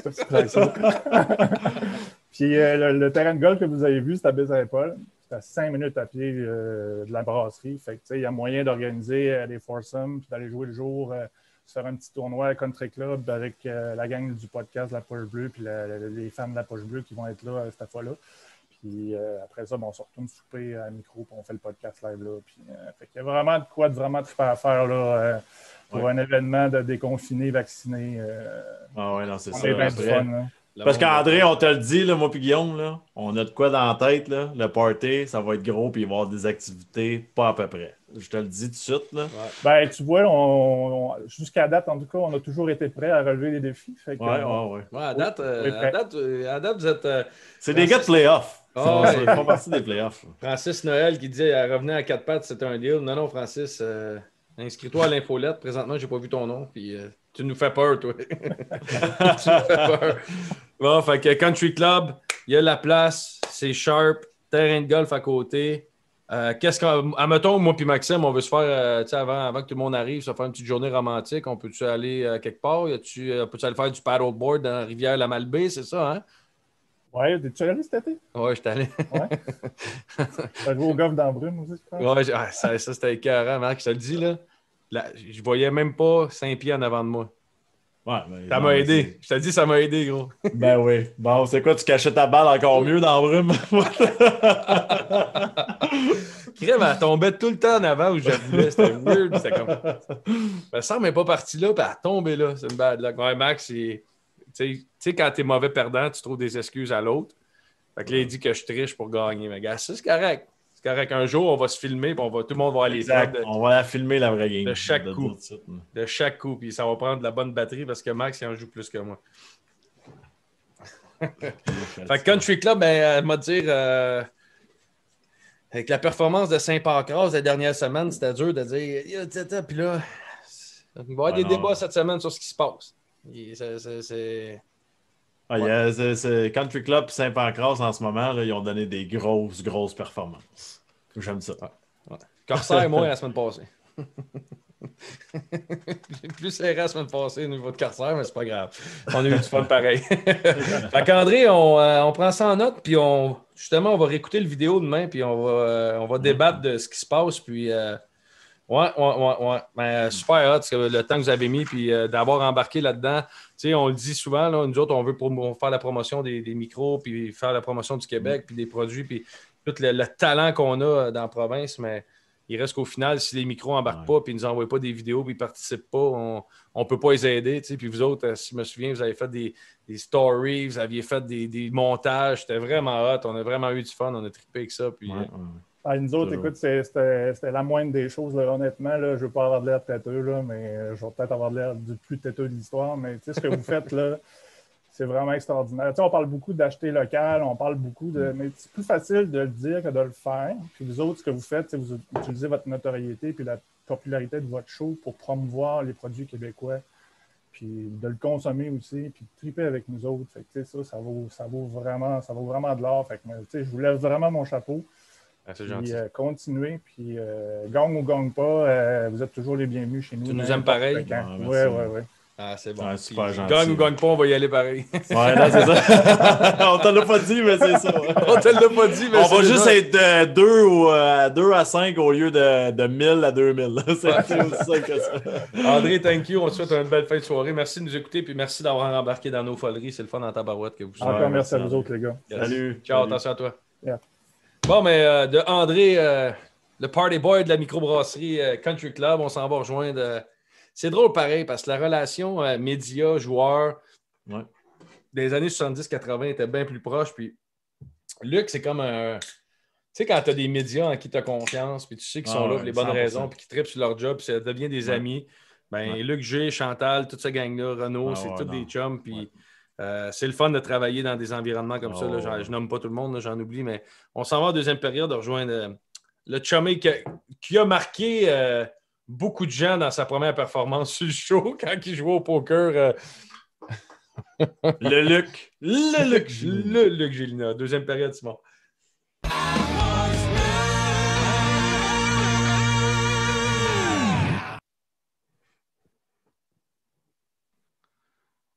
Ah, on lui fait confiance, on l'aime. Euh, il n'est pas venu finalement. Salut, Guy. hey, Luc, tu sais comment il est avec son t-shirt. là. Comment ça va, Luc? Il travaillait fort. J'ai changé mon décor. Le jean de la poche bleue en arrière. Ah, un gros changement de décor. non, mais parle-moi d'un gars qui fait des efforts, tu sais. Alors, il a, il a mis, le- il a mis le paquet à soir. Là. Il a mis à Ouais, là, j'ai- j'avais hâte que vous arriviez. Parce que j'ai un petit trou normand, un petit produit du Québec. Civio. C'est une série, c'est euh, de l'eau de vie. C'est comme du gin, mais un petit brin plus fort. C'est- Ça décolle le placenta. Peux-tu nous le montrer comme après. faut? Euh, Je n'ai pas vu la, Oui. la. Ça, c'est fait pas loin de Mingford. OK. Euh, Oh. Franklin. OK. Puis, c'est bon, euh, J'avais bon. essayé ça cet été de m'année quand on était semi-déconfiné au, au coup monté à l'Assomption. Ils nous avaient donné ça en trou normand, puis j'ai adoré ça. Puis toi, Luc, t'es- t'es un gros buveur là, de, de produits québécois. T'aimes ça, là, encourager Ouais. le local. Puis je le sais, t'es, probablement le, le numéro un des, des personnes. Non, sérieux, t'aimes les produits québécois, puis t'en es fier. Puis on le voit avec ton t-shirt, mais c'est quoi ta découverte, mettons, de l'année? C'est quoi ta. À part la poche bleue, là, tu sais, on le sait. Ben, la, la découverte de l'année, c'est. euh, ça s'appelle le 5M. C'est une micro-distillerie à Louisville. C'est comme du Baileys, mais au sucre à la crème. Oh, tabarouette. Je te dis, là, c'est malade. C'est vraiment bon, là. Tu t'en prends pas trop, là. Euh, Un petit digestif, c'est vraiment solide. Mais les, les bières de micro, euh, c'est un peu une maladie, tu sais. Je vais à l'épicerie, puis ah, elle, je l'aime, fait que j'en achète. elle, je la connais pas, fait que j'en achète. tu sais. Euh, D'ailleurs, là, le, le country club, là, ça peut- si vous y allez, là, je m'invite. Hey, Luc, c'est là que je m'en allais. J'ai dit là, on a deux choix. là. C'est Bécomo ou c'est euh, Charlevoix. Je m'en allais te dire, Luc, il me semble que tu es le candidat parfait pour venir faire ça. avec Non, mais l'hiver passé, je suis allé avec Julie, ma femme, au Massif. puis On est allé à la bra- microbrasserie Charlevoix. La Placatoune, là, c'est une de mes bières préférées. Je pense que tout le monde l'aime. Elle est très populaire dans les bières de micro. On a passé une belle soirée, mais Country Club, je ne connaissais pas ça. Puis quand on va dans des, dans des petits voyages où, tu sais, je fais beaucoup de conférences dans les écoles à cause de mes livres, euh, Lac Mégantic, euh, à Thetford Mines, il y en a partout des micros. Mhm. Puis je repars tout le temps avec des petits produits locaux, tout le temps, puis j'essaye ça après. Ouais, j'avais Fait vu. que salut les gars, avec un, un verre d'occasion en plus. Nashville. Oh, Oh. t'es équipé, Luc. C'est Là, je- Oh, t'es sharp, t'es sharp. T'es prêt pour la game, euh, Luc? Ça, c'était le petit trou normand. Puis pour la vraie soirée, ben là, faut que j'aille un produit par chez nous à Shawinigan, le trou du diable, la sang d'encre. Ah c'est ouais. une des meilleures stars. Trou du diable, c'est celle qui font la Shawinigan, euh, la selle Ouais. avec euh, Jean Chrétien, là, c'est ça, hein? Exactement. C'est ça. J'en prends ça, un là. petit peu moins parce qu'ils ont été, euh, ils ont été vendus à. Fait que c'est comme une microbrasserie commerciale, comme Ouais. Boréal, dans le fond. Mais c'est solide. C'est vraiment Voilà, très bon. bon. C'est une de mes bières préférées. Ça, c'est une, roue- une rousse, une. C'est une stout. Une stout, ok, ok. Regarde la belle couleur de ça. Et tabarouette, Ah, ouais. t'en bois pas C'est 12 pas de ça, trop hein? fort, là, les- c'est 5 Ah, faut- Ah, ouais? ça. Ah ouais, c'est Ah, c'est petite bière de dessert. Là. Hey Luc, euh, je, vais, je vais te commencer là. Euh, Va te starter à parler mitaine? de- Non, c'est pas ça. Je vais te starter, mon Luc, là. C'est ça. Non, mais ça a sonné de même, excuse-moi. Excuse-moi, c'est. Va te starter, Luc. Luc, tu parlais de voyagement. Tu vois, tu sais, les microbrasseries, tout ça, mais dans ton métier, puis tout ça, ce que tu fais là, dans, dans- dans ta carrière, tu voyages beaucoup. Tu sais, nous, on parle souvent des joueurs, euh, on s'en prend- on s'en va, on prend l'avion, c'est facile, on est, tu sais, tout est, tout est facile. là. mais toi, euh, côté média, puis tout ça, c'est comment le voyagement? En fait, nous autres, là, euh, quand j'ai commencé, on était dans l'avion. Il y avait euh, le- les entraîneurs de management, les médias, puis les joueurs après.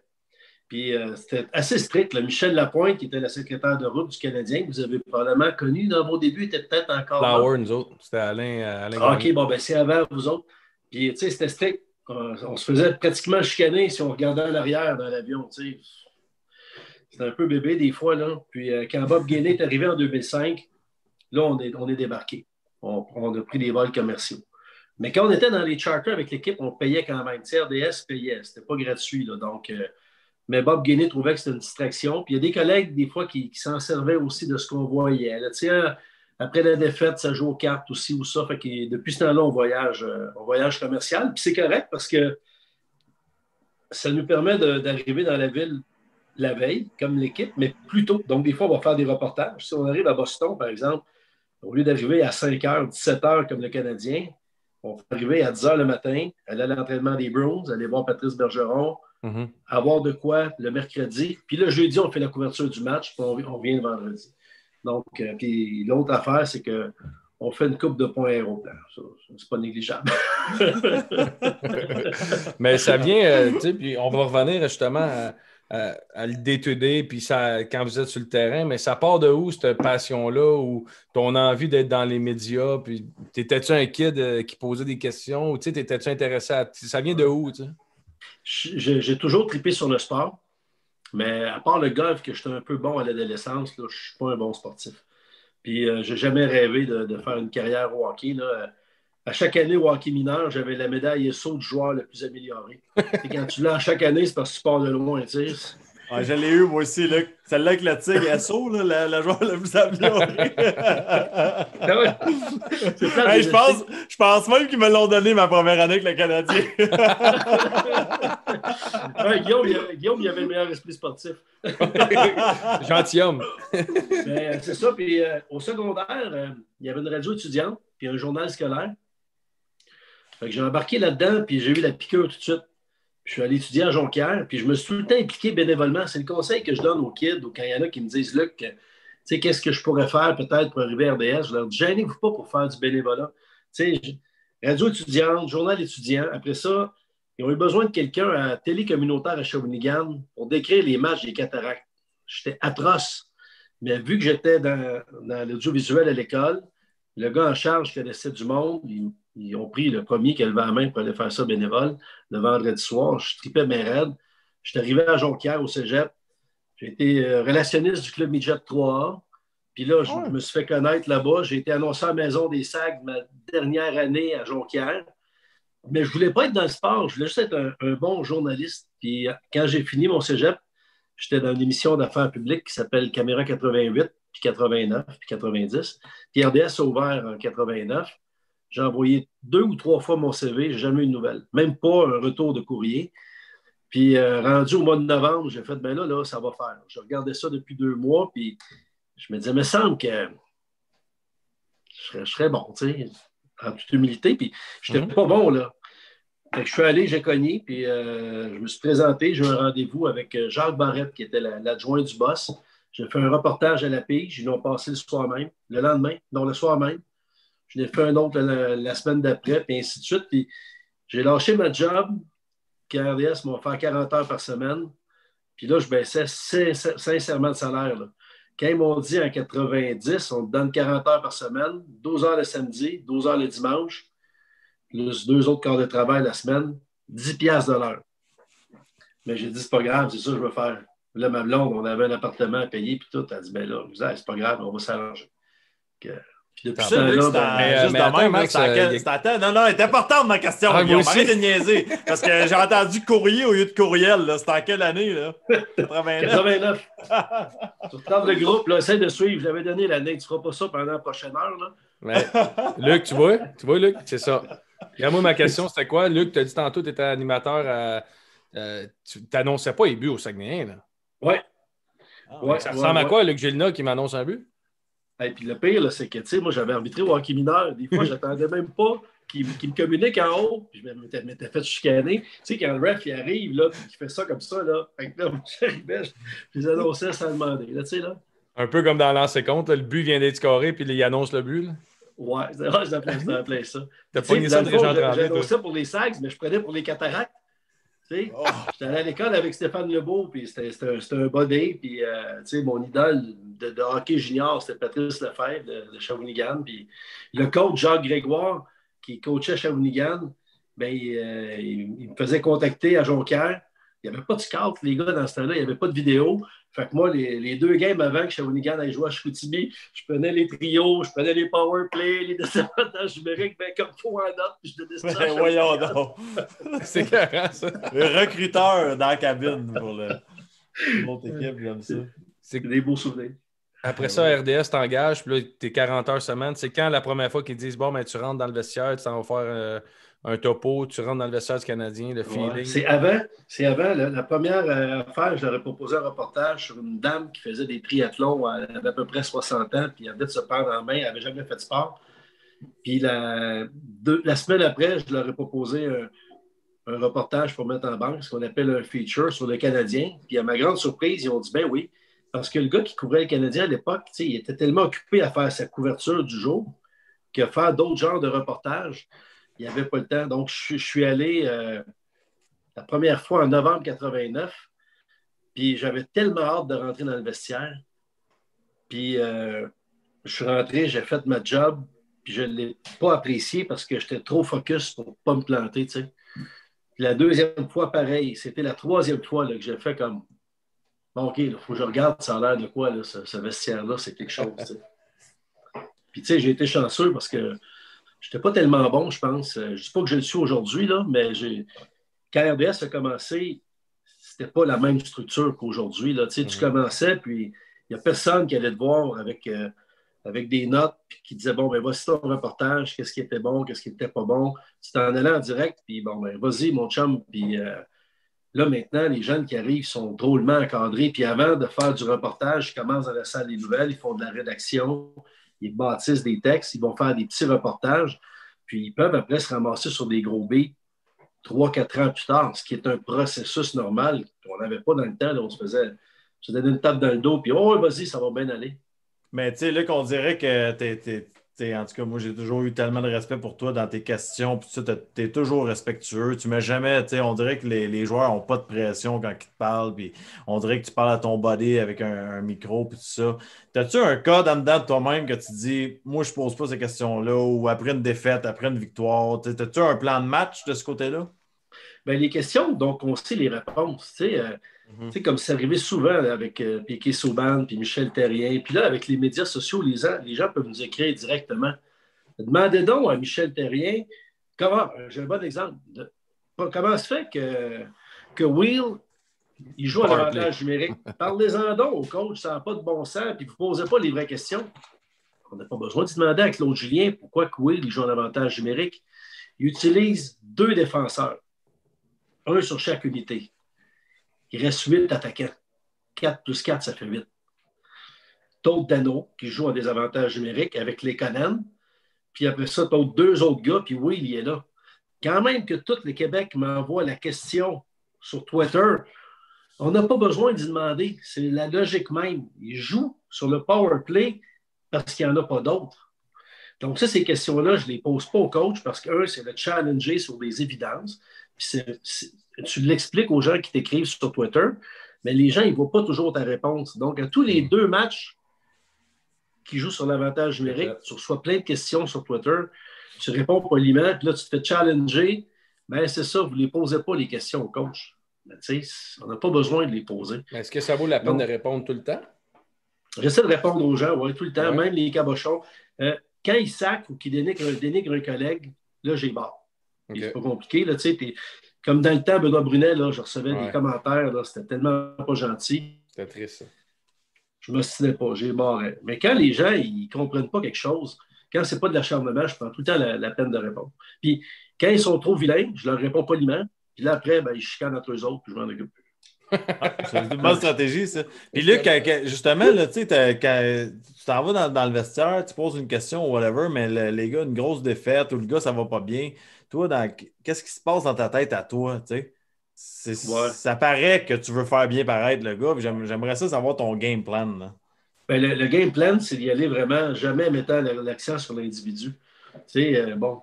Puis les gars, vous le savez quand vous avez mal joué collectivement, tu sais, quand vous êtes tout croche, là.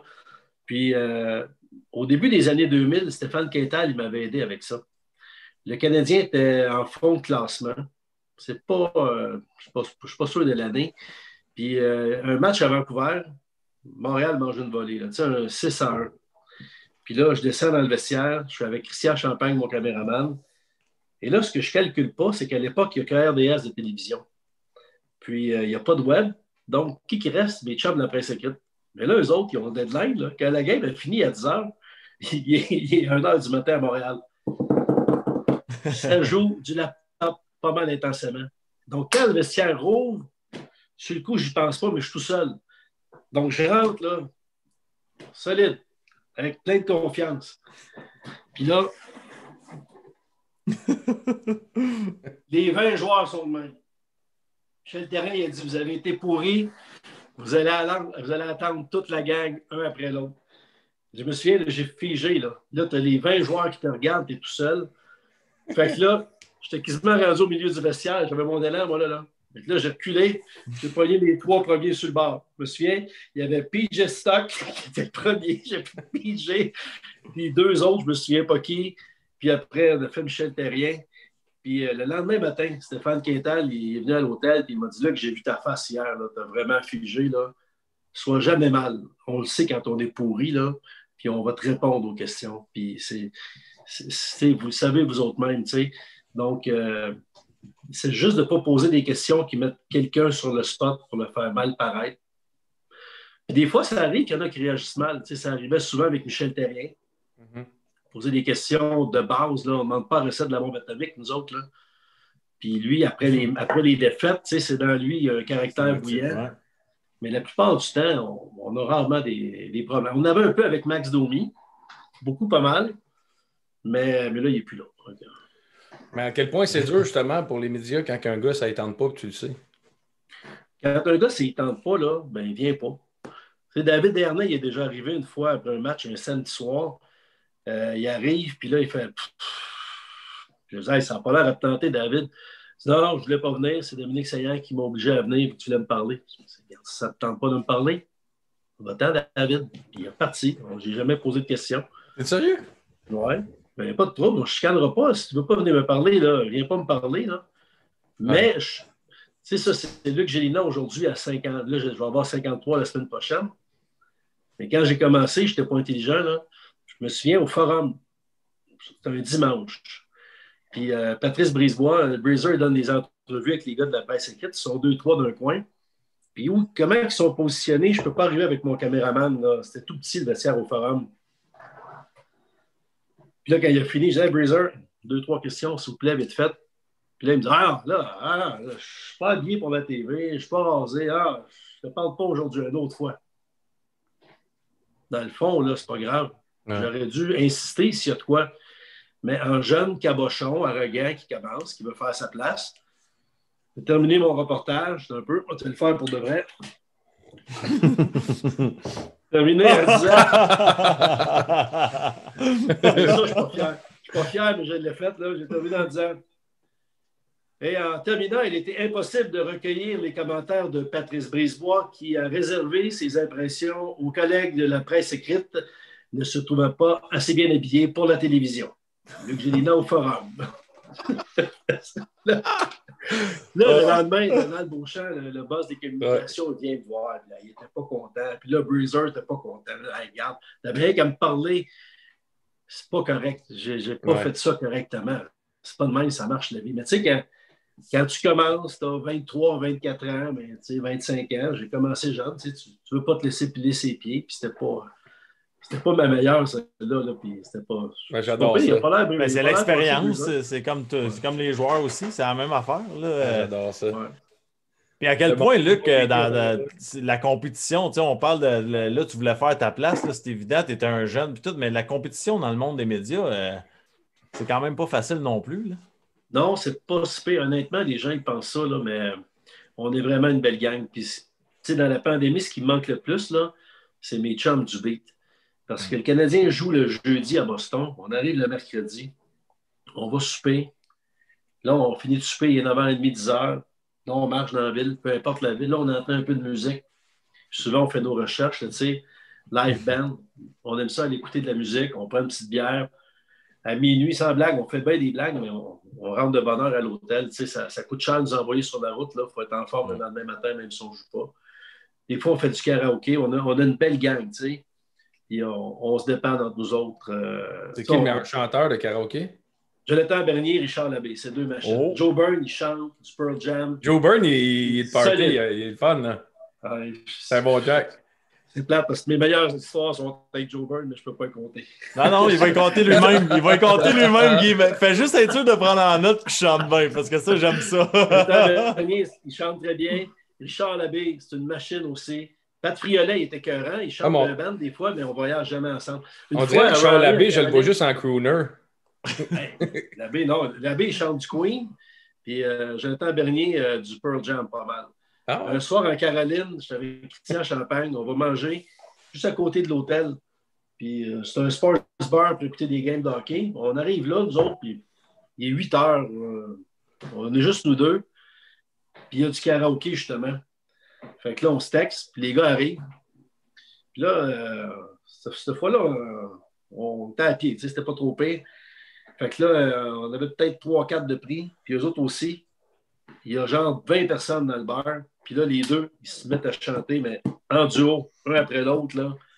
Le monde, ça les applaudissait. Ça a fini.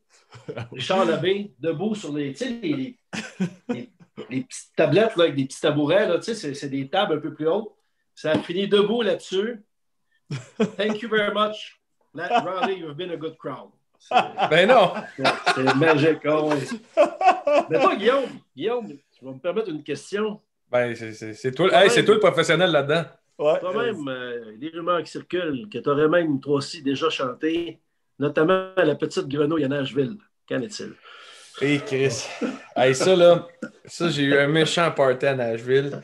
Mais tu me fais penser, on s'en va. Ça c'est drôle parce que on- avec les anciens Canadiens, on se retrouve à Fogo Island. Fais tes recherches sur Google, c'est loin en Tipper. Tu prends un bateau, tu t'en traversier, tu, en tout cas, T'es pas plus loin que tu peux être. Puis là, toute la ville est là. Il y a comme un petit bar, il y a 500 personnes, peu importe. Tout le monde est là.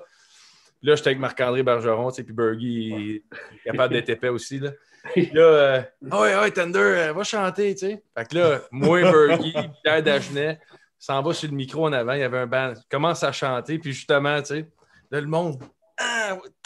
ils commencent à comprendre qui qui chante, puis ils sont comme, Chris, ils sont bons.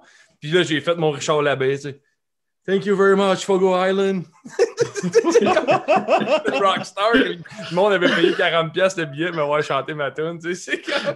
Mais oui, j'aime ça. euh, J'aime ça. Quand Saint-Bière, je ne vais pas. 6, je commence à chanter le refrain. Puis 7, je te fais la tune. Puis tu veux Ouais, manger. il chante bien. Honnêtement, Luc Ouais, Le ouais. Guillaume chante bien. Très Max bien. aussi, hein? Max, Non, euh, ça, c'est pas vrai. Il essaie toujours de faire ça parce qu'il sait que je déteste chanter. si il Dieu veut me faire existe- chanter, je chante pas bien. Arrête si de Dieu niaiser. existe, tu l'as comme personne. Ah, il est-tu fatigant? Hey. Hey, là, Luc, tu parlais de Riley. Euh, T'as été pris à Caroline, en Caroline dans la Ah. tempête du siècle. Ça, faut, Ça, faut- J'ai été pris une couple de fois dans des tempêtes, mais en 2000, avec le Canadien, on- c'était tranquille. on jouait Raleigh le mardi, puis Boston le vendredi. Un petit voyage de routine, j'étais avec Paul Buisson. Puis on rentre à l'aréna le mardi, le mardi à 4 heures. Il fait beau. Il n'y avait pas le web comme maintenant, mais il n'y avait rien, aucun bulletin météo qui disait qu'il y allait avoir une tempête. Puis en sortant, à 11h, 11h moins quart, 10h30, les gros flocons, le plein ciel. Là, il y avait de la neige. Puis à mi-chemin vers l'aéroport, puis c'est pas loin l'aéroport en partant de, de à Raleigh. Là, il neige, il neige, il neige, c'est la folie. Là, les arbres, ça tombe, les fils électriques, ça, tout pète. Là, on se dit, nous autres, on décollera pas, c'est impossible. On s'en va à- quand même à l'aéroport. Il y a l'autobus des médias puis l'autobus des joueurs. Puis là, nous autres, on se parle. Bon, c'est impossible. No way qu'on décolle à soir. On rentre dans, dans- dans- dans l'avion, puis là, le Canadien, il faut que ça décolle. hein. Faut que ça décolle. Il n'y a, plus de- a plus chambre d'hôtel euh, où on est. Puis les Coyotes de, Phoenix, c'était le, le Phoenix à l'époque, ils ont pris nos chambres parce qu'ils jouent le lendemain. Puis là, il faut aller à Boston. 90 minutes assis dans l'avion à se dire c'est impossible qu'on décolle, c'est impossible qu'on décolle. Puis une des raisons pourquoi on est resté si longtemps, c'est que Michel Lapointe du Canadien cherchait un hôtel. On s'est ramassé sur le, le campus de l'Université euh, North Carolina. Puis de l'aéroport à l'université, Pierre McGuire, qui, est- qui est à NBC maintenant, il faisait la radio pour euh, les Anglais ici à Montréal. Pendant à peu près un demi-kilomètre, il était obligé de débarquer d'autobus. On était l'autobus des médias en avant, l'autobus des joueurs en arrière. On ne voyait plus rien. On ne voyait pas le chemin. On est arrivé là-bas, il- sans blague, il était comme 4 heures du matin. Puis le lendemain, le mercredi, là, on a un reportage à faire. Le reportage sur le Canadien qui est pris d'une tempête à Raleigh. Je me souviens, Alain Vigneault, il fume des gros cigares puis il lance des bottes de neige avec les manches Jourdouin. Ça fait de la belle TV. Mais nous autres, là, à l'époque, il faut envoyer ça par satellite. Appelle des taxis, rien à faire. On est sur un campus universitaire. Pas câble, le gars. Pas des kids avec des J. Personne qui a des pneus d'hiver. Ils ont tous les tailleurs d'été là-bas. Pas moyen d'aller porter notre cassette. Puis là, le- la- on- le- mon boss il a réservé la station de télé, le lien satellite à 5 heures, mettons, pour le bulletin de nouvelles à 6 heures. Là, à 4 heures, Paul Buisson, il dit Il y a deux autobus quand même de parquer ici. Bon, on ne bouge pas d'ici. là. Si allais voir le chauffeur d'autobus, il offrait du cash. Fait que là, je calcule, je compte mon argent, il me restait 200 pièces cash dans mes poches. Je vais voir le chauffeur d'autobus. Je dis Vous, là, pour 200 pièces cash, là, je vous le donne tout de suite. Ça vous tente d'aller revenir en ville, aller-retour, vous m'attendez une demi-heure, on revient. Fait qu'on est parti avec l'autobus du Canadien. Moi, puis Paul. Puis là, il y a des autos partout. Là. On se promène à travers les autos. De manière, il faut prendre une sortie d'autoroute. Il n'y a pas de place. Tout est barré parce qu'il y a des voitures empilées. On est allé plus loin, on est revenu. On a envoyé notre reportage. Puis on est revenu, Alain Vigneault n'était pas content. Parce que là, euh, moi, j'avais pris pour acquis que le chauffeur d'autobus avait demandé la permission, mais il n'avait pas dit. fait que là, il dit, nous autres, on n'a plus d'autobus. Puis là, s'il se passe de quoi, il faut partir. euh, On part pas. Fait que là, mais Alain, c'est pas pire, il était déjà dans le Grand Marnier, fait qu'il était de bonne humeur. fait que, euh, non, mais Alain, c'est Alain, c'est vrai, Alain, c'était quand il coachait, il prenait un petit verre de Grand Marnier avec nous autres la veille des matchs. C'est le seul coach. Pas 10-12, là. Il prenait un petit verre de Grand Marnier, on ne jasait pas d'hockey. C'était vraiment le fun. Puis, euh, puis le lendemain, le jeudi, on est resté à l'hôtel, il n'y a pas eu de reportage. Puis le vendredi, c'est l'avion privé des, des Rangers de New York qui est venu nous chercher. parce que l'avion du Canadien est encore pogné en neige sur la piste. Puis euh, Montréal n'a pas joué la partie à, à Boston. Elle a été remise à la toute fin du calendrier. Ah ouais, ok, Wow. c'est carré ça. Ouais. Tu, Ah, euh, tu parles souvent ça. de tu sais, un gars qui a marqué, euh, je pense, l'imaginaire pareil, là, que- qui a changé la façon de faire la TV au Québec, c'est Paul Buisson. là. C'était Ouais. comment de travailler avec cet homme-là? Puis... Ah, c'était magique.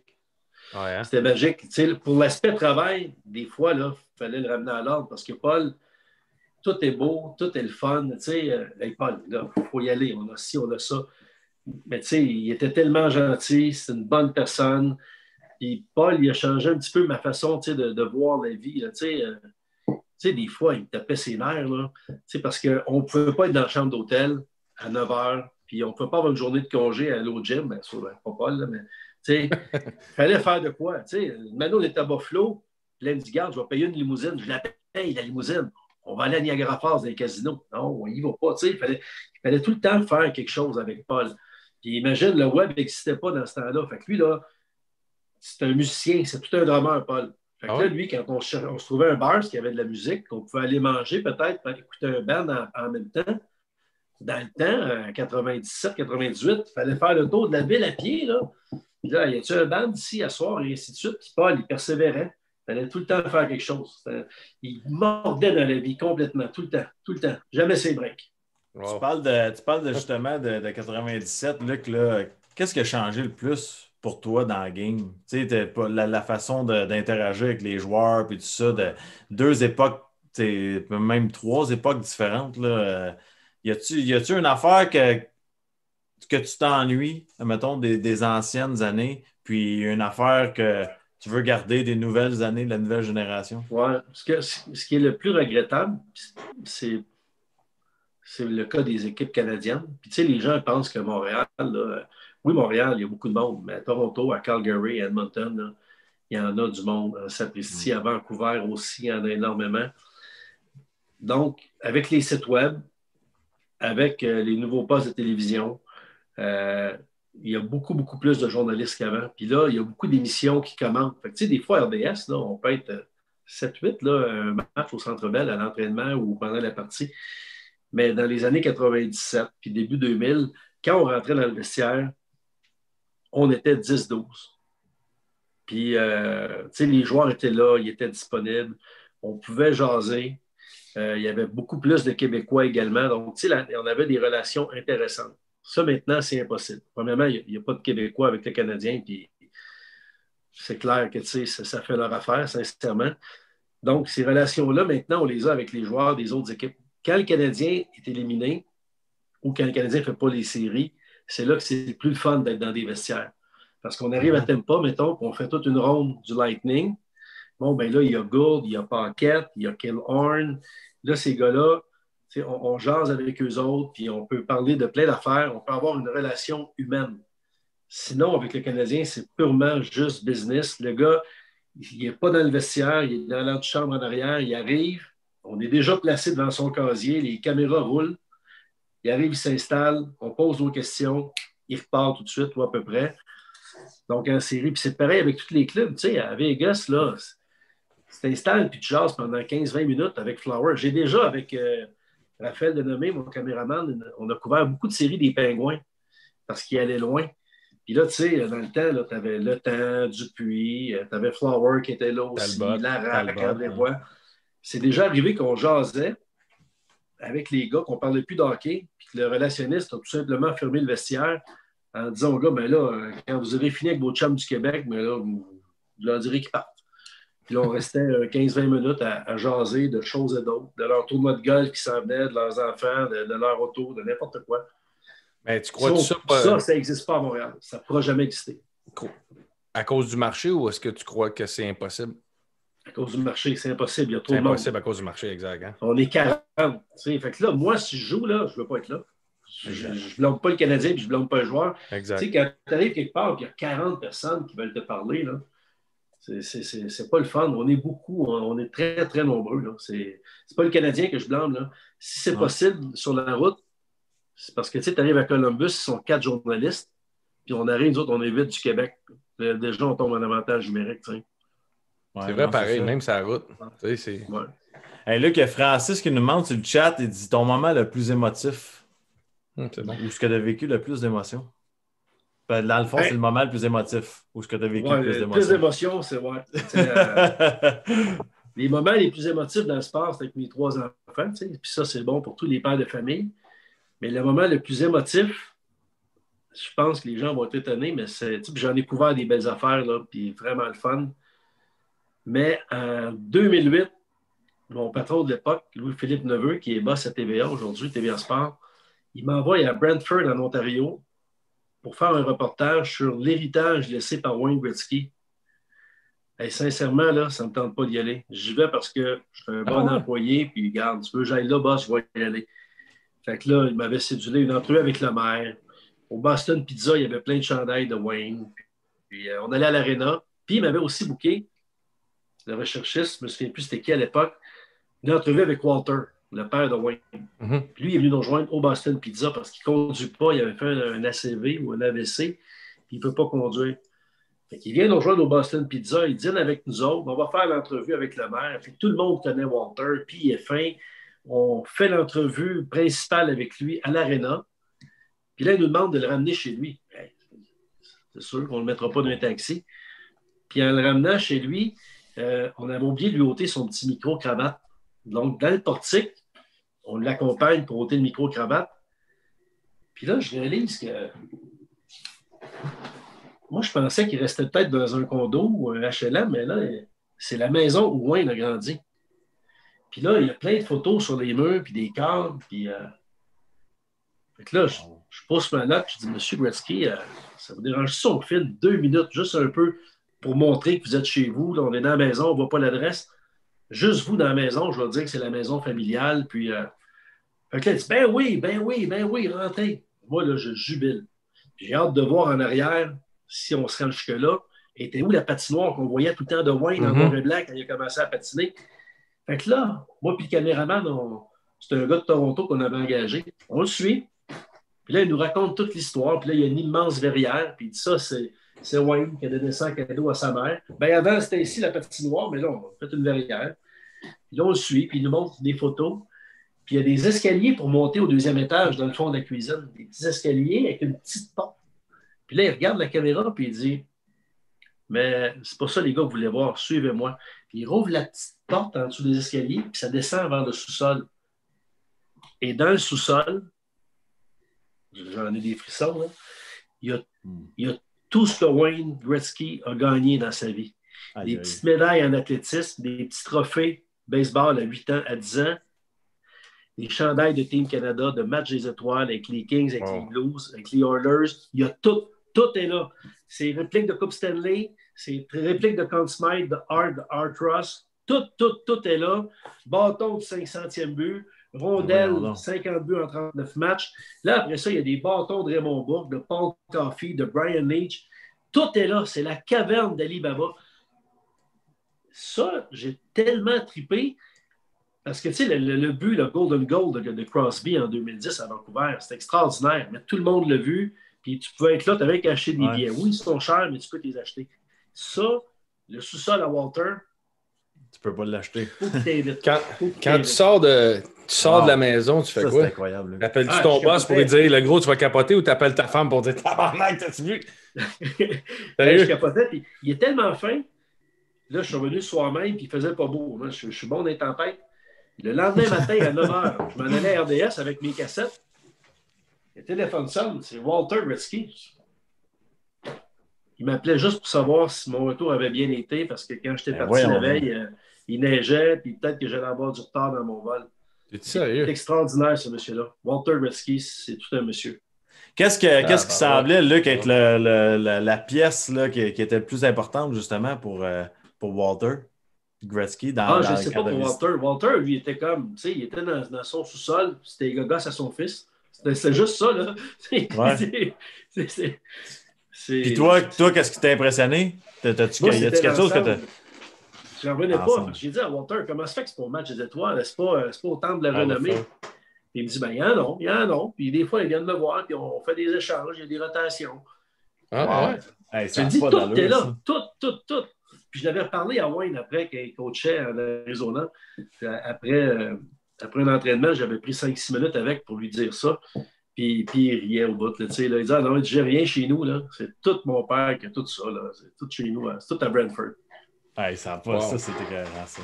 Ah ouais, ça, là, t'en as vécu des moments de même dans ta carrière, par exemple, parce qu'on regardait ton résumé, là, Luc, là, ça- tu pourrais nous conter des histoires pendant 10 heures, là, on s'entend.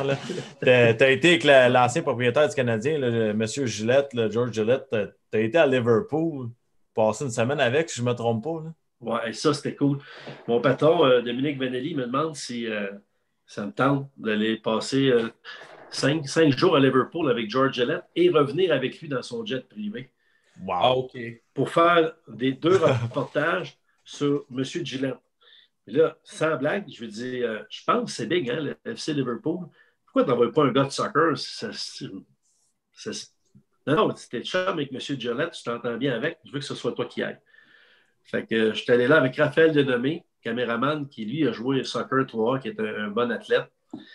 Ben, moins là, là. Ouais, c'est ça. c'est ça, la lasagne. Ressemble plus à Garfield. mais On sa- on le salue. Ah, C'est un méchant bon Jack, ça. Puis, euh, là, on est là, nous autres, puis là, on était nerveux un peu parce que, tu sais, on fait Montréal-Londres, puis Londres-Liverpool en train. Puis là, euh, le premier soir, on arrive, puis il est tard. Puis le lendemain, notre journée, elle commence avec euh, George Gillette, puis il nous amène au site d'entraînement. Puis il y a il y a des chauffeurs là-bas, puis tout, puis il prend soin de nous autres. On est avec lui dans la même minivan. Puis là, il nous fait visiter tout le site d'entraînement. C'est barricadé. On ne peut pas filmer la pratique. C'est hyper privé. Là, on est dans sa loge qui, est sur le terrain d'entraînement. Puis euh, on ne peut pas, là. On ne peut pas filmer. Puis là, lui, il rouvre les stars, puis on filme à travers le star. C'est à lui, le club. C'est extraordinaire. Puis euh, juste à côté de ça, il y a un temple de la renommée du FC Liverpool. Puis euh, où on était allé plus loin pour le temple. En tout cas, nous autres, notre journée a fini, là, puis on a hâte qu'elle soit finie. On a voté avec George Gillette. On va être là trois jours. On a le temps de filmer. Puis le point, le point culminant, c'est le match. Puis quand on va pour quitter l'amphithéâtre avec George, il y a deux gars en t-shirt, en sweatpants, en running shoe dans l'entrée. Puis là, George, il nous présente comme ses amis de Montréal. Hey guys, they're two friends from Montreal, bla bla bla. Puis il y en a un qui s'appelle Steven, Steven Gerrard. Puis euh, l'autre, c'est le numéro 4, là, j'ai oublié son nom. là, j'étais avec Raph. Puis là, hey Steven, puis nous autres, là, on a juste hâte d'aller filer notre journée, puis aller d'un pub anglais, manger un fish and chip, puis boire une Guinness, voir de quoi ça a l'air. On ne l'a pas vu encore. Puis on va avoir le temps de faire ça. Fait que là, on jase avec eux autres, puis tu sais, euh, c'est Ah, you like it here? Comment ça? C'est le fun. On est arrivé hier, mais là, on va visiter ça aujourd'hui. Puis là, les gars, ils veulent jaser. Puis on jase, mais tu sais, on n'est pas. On est dans le moment avec eux autres, ils sont super fins. Sauf que quand on arrive au temps de la, temps de la renommée, on réalise que c'est le temps de la renommée de Steven Gerrard, que c'est peut-être le plus grand joueur de l'histoire de, de l'Angleterre. Autres, on a jasé avec, on n'a pas pris de photos. On a jasé avec, là, euh, de même, là, comme si c'était un joueur de septième trio là, qui arrivait de la Ligue américaine. Puis là, là, je le regrette tellement. Là. Puis on est revenu avec George dans son avis. Hey, Monsieur Gillette, il est tellement fin. là, Ah, lui, extraordinaire. Vous l'avez connu, vous autres. Là. Ah ouais. C'est ben, fait- drôle quand tu dis euh, mes amis de Montréal, ils faisaient tout le temps ça. tu sais, Ah, mes amis du Texas, puis là, il y avait des gars de NASCAR, puis il y a des gars de n'importe Ouais, quoi qui temps. Ah, il était tout le temps comme ça. Euh, dans les dernières questions que je veux te poser, là, ça fait déjà 40 minutes qu'on te retient. Euh, Qu'est-ce. euh, tu sais- on parlait tantôt de malaise dans des entrevues ou des questions, puis l'entrevue de Carbo à Détroit, quand, Ouais. quand il pète. tu sais, C'est comme on t'entend toi, puis là, il pète sa coche. Comment on se sent après? Y a-tu un. Ah, ben cette fois-là, non. Cette fois-là, il y avait zéro malaise. Puis sincèrement, Carbo, euh, il avait mal compris ma question, mais ça a donné de la bonne télé. Parce qu'il avait répondu. Sérieux, je tripais, là, c'était bon. Là.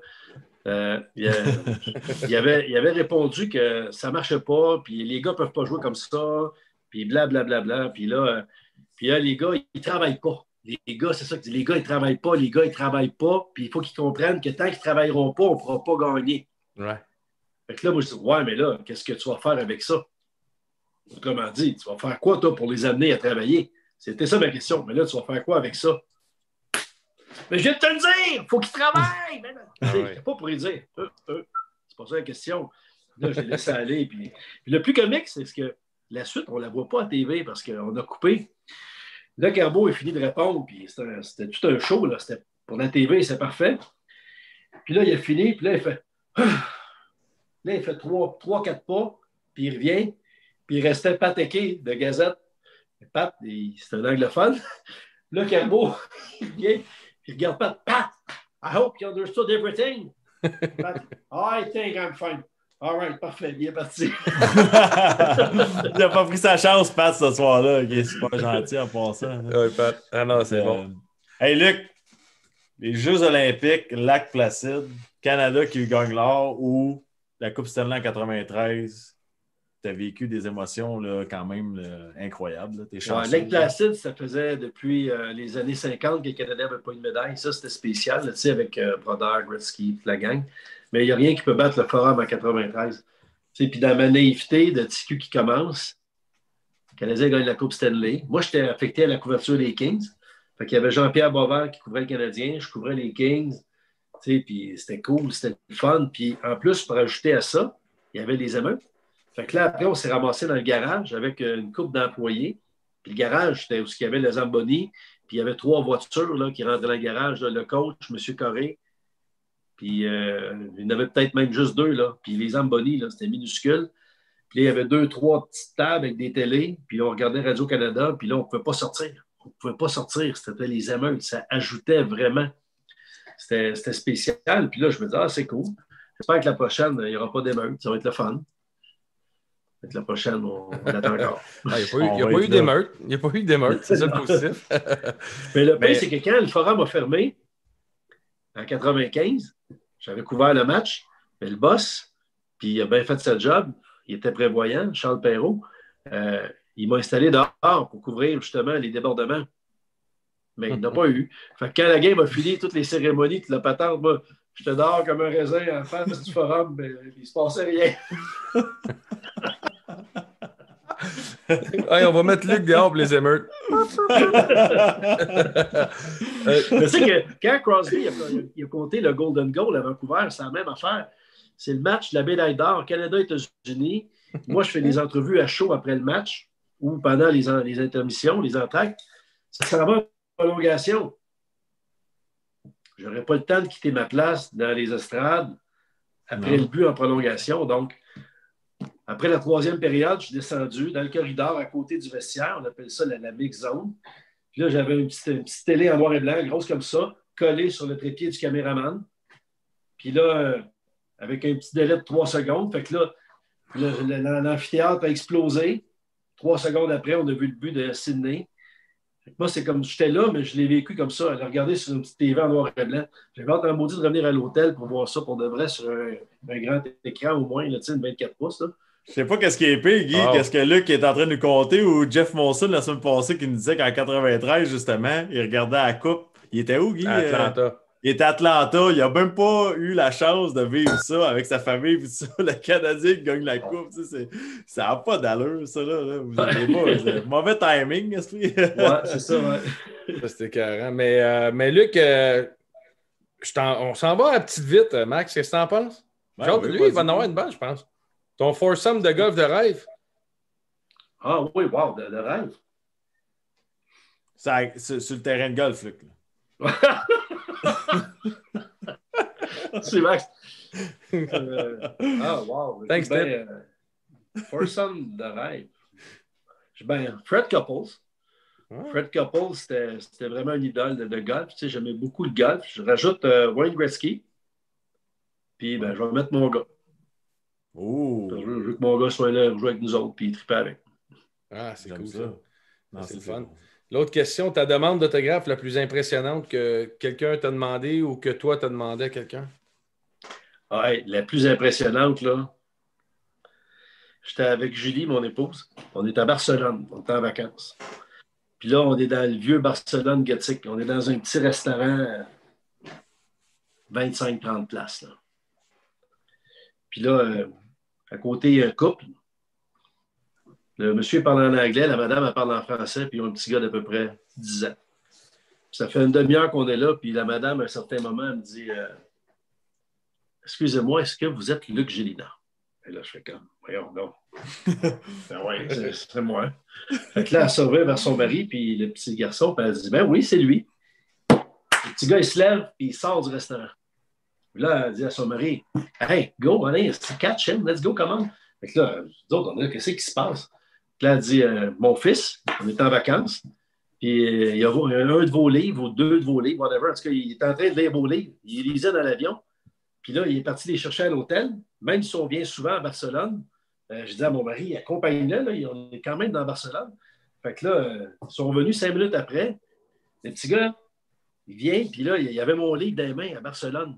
Wow. Ça, ça c'était. Ça, c'est. Ah, ça va, ça. Hey Luc, euh, justement, je, je l'avais dans mes points. Parle-moi euh, vite, vite de tes livres, là, parce que je pense que c'est une grande fierté pour toi, là, puis ils sont super bons. Ouais. Tout, le monde, euh, tout le monde adore tes Ouais. livres, là, fait que parle, parle-nous-en un peu. Ben, en disant, ça a commencé que, tu sais, à un certain moment, je voulais, je voulais faire plus que des petits reportages de deux minutes à RDS. Puis, euh, je cherchais des idées de livres.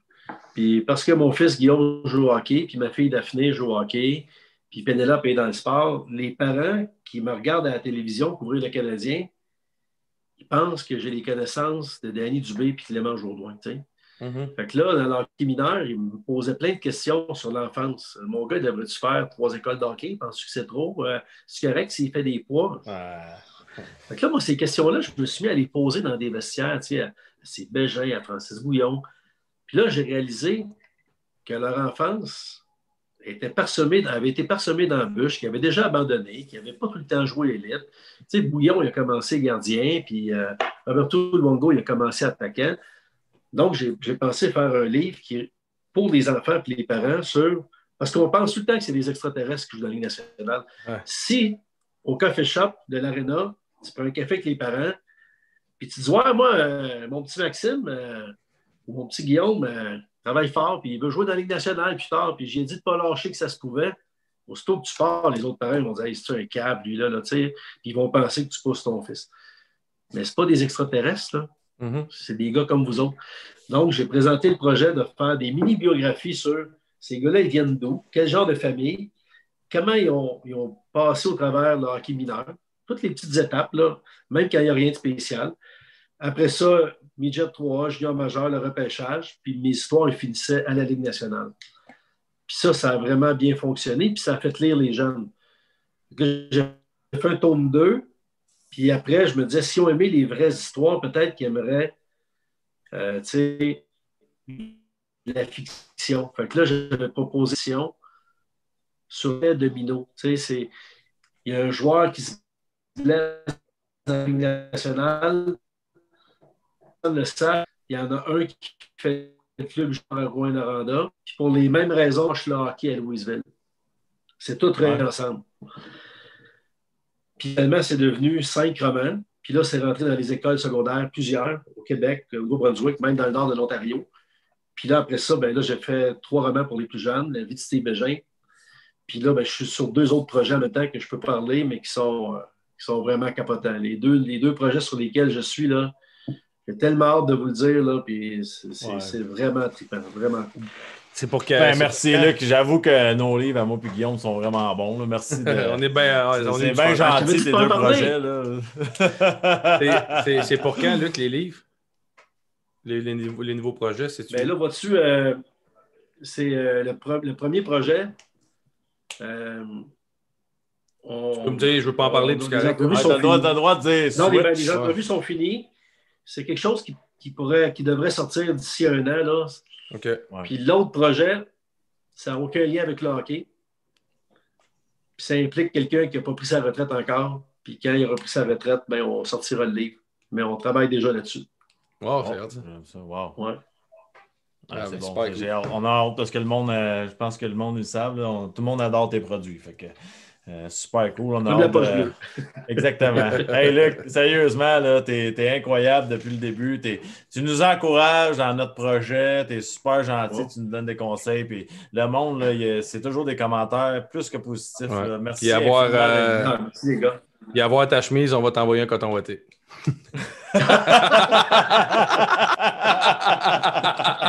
Le pire, c'est que j'ai choisi la plus belle pour vous autres. Merci, Ben, là, Luc, tu supportes toujours nos produits quécois, puis Ouais. tout ça, puis t'es Un bon t'es- Jack t'es- en Christ. t'es un vrai Québécois. merci pour la bouteille de gin puis les bières. Puis ton nom, euh, ton nom, il est là pour le party, hein? Ouais. Là, On t'es- t'oublie pas, c'est sûr. on s'en va là, là. là, avec. On s'en va là avec un chien Mira, là. Ça prend un chien Mira, par exemple. pour revenir. Pour qu'il nous ramène à l'hôtel après. Ouais, là, Guy l'a dit. euh, J'ai j'ai- j'ai hâte de voir qui qu'on va amener pour chanter, Guy, parce qu'à la date, on a des, des...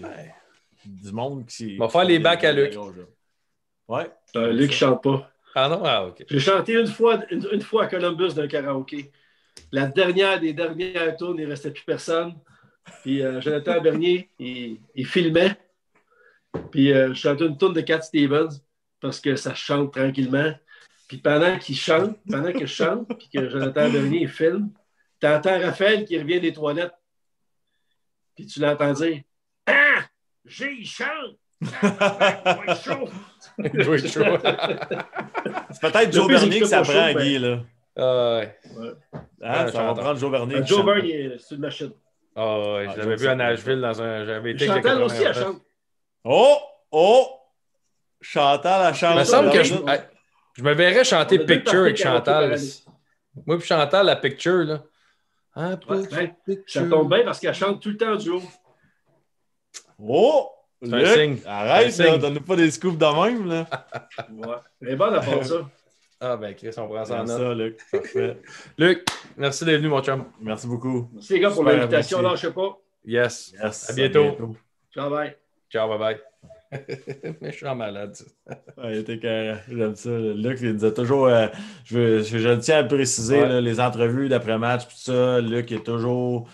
Chantal aussi, là, sont tellement respectueux. euh, toujours été correct avec nous autres. Ils nous ont fait sentir. Tu sais, quand tu es une recrue, là, euh, tu, tu regardes quelqu'un comme Luc Gilna, Chantal Maccabé, c'est des, c'est des vétérans. Tu, sais, tu, tu- tu dis, ils connaissent la game, ils sont là depuis longtemps, puis ils te font sentir à l'aise dans le vestiaire d'une certaine façon parce que tu, tu rentres, ils sont tellement laisse en parler, avec Max. OK?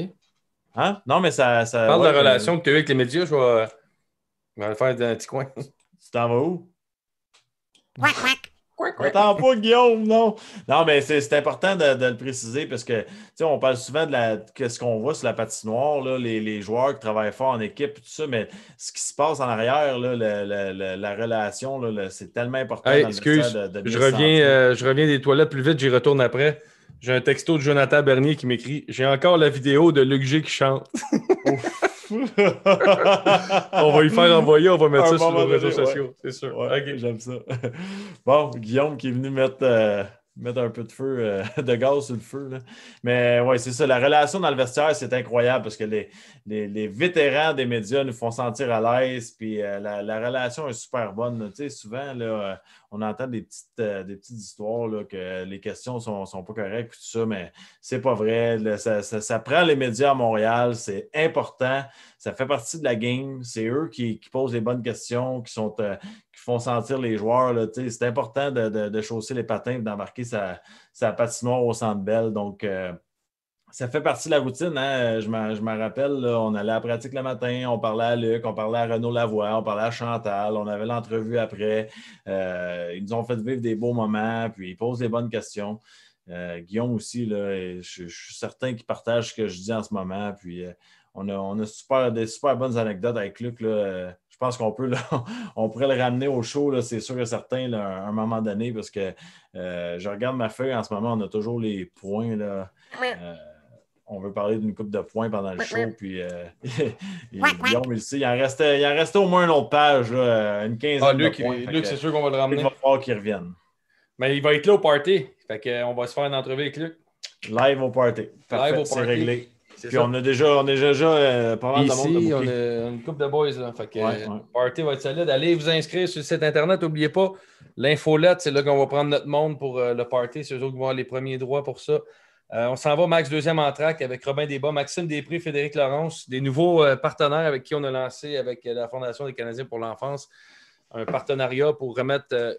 Dans le fond, euh, Robin Desbas, ce qu'ils font, c'est qu'à toutes les fois que quelqu'un achète une paire de bas de leur compagnie, ils remettent une paire de bas à l'accueil Bono à des gens qui, sont dans le besoin.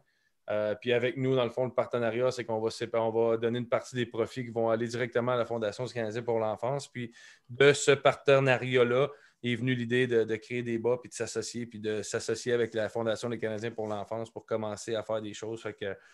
Super le fun. Max, Fred, salut les boys. Comment ça va les boys? Salut, boys.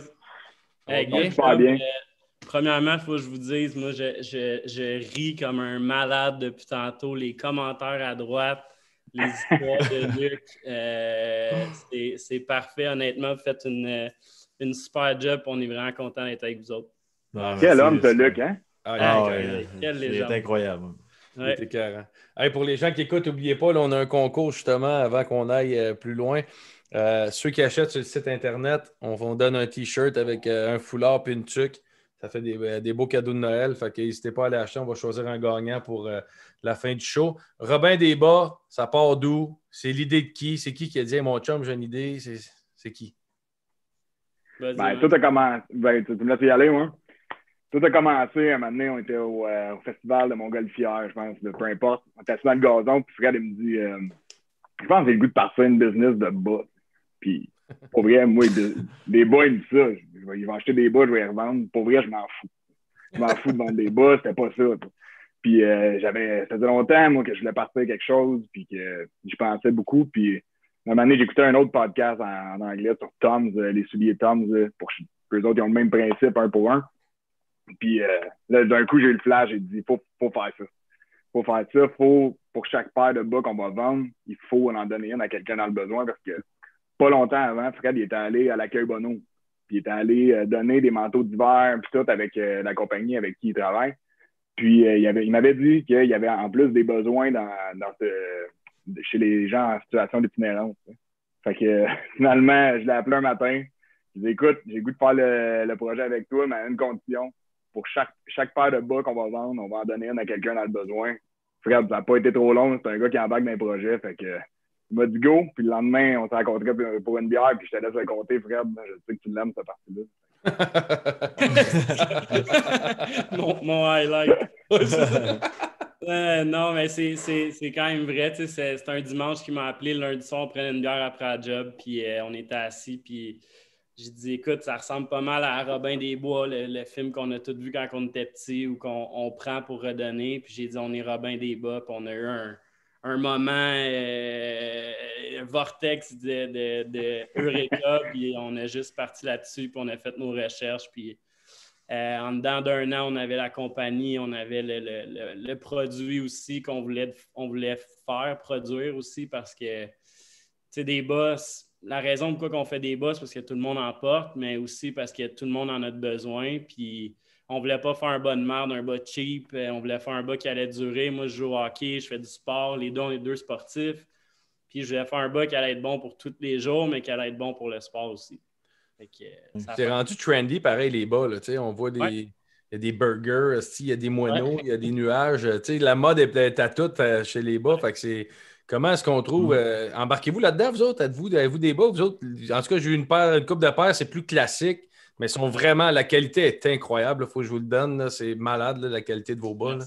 Merci. Merci, t'es bien fin. Mais euh, en fait, on le fait, mais on le fait juste avec des artistes du Québec avec qui qu'on qu'on va trouver comme on a un bas qu'on a fait en collaboration avec euh, le Bicard, que lui, euh, il a vraiment pris son style à lui, il a vraiment dessiné les bas, puis on a fait des bas sublimés, là, des bas en impression. Mhm. On a vraiment mis son style d'avant. Puis pour chaque paire qu'on vend, lui, en- il reçoit un peu d'argent aussi. Donc, on trouve tout le temps une façon de, non seulement d'encourager local, puis de, de, donner, euh, de donner à des artistes aussi d'ici. C'est le fun pour nous autres. Puis ça vient d'où cette idée-là? Euh, C'est-tu des valeurs familiales ou peu importe de, de dire je redonne, d'avoir cette, cette mentalité-là, cette vision de redonner?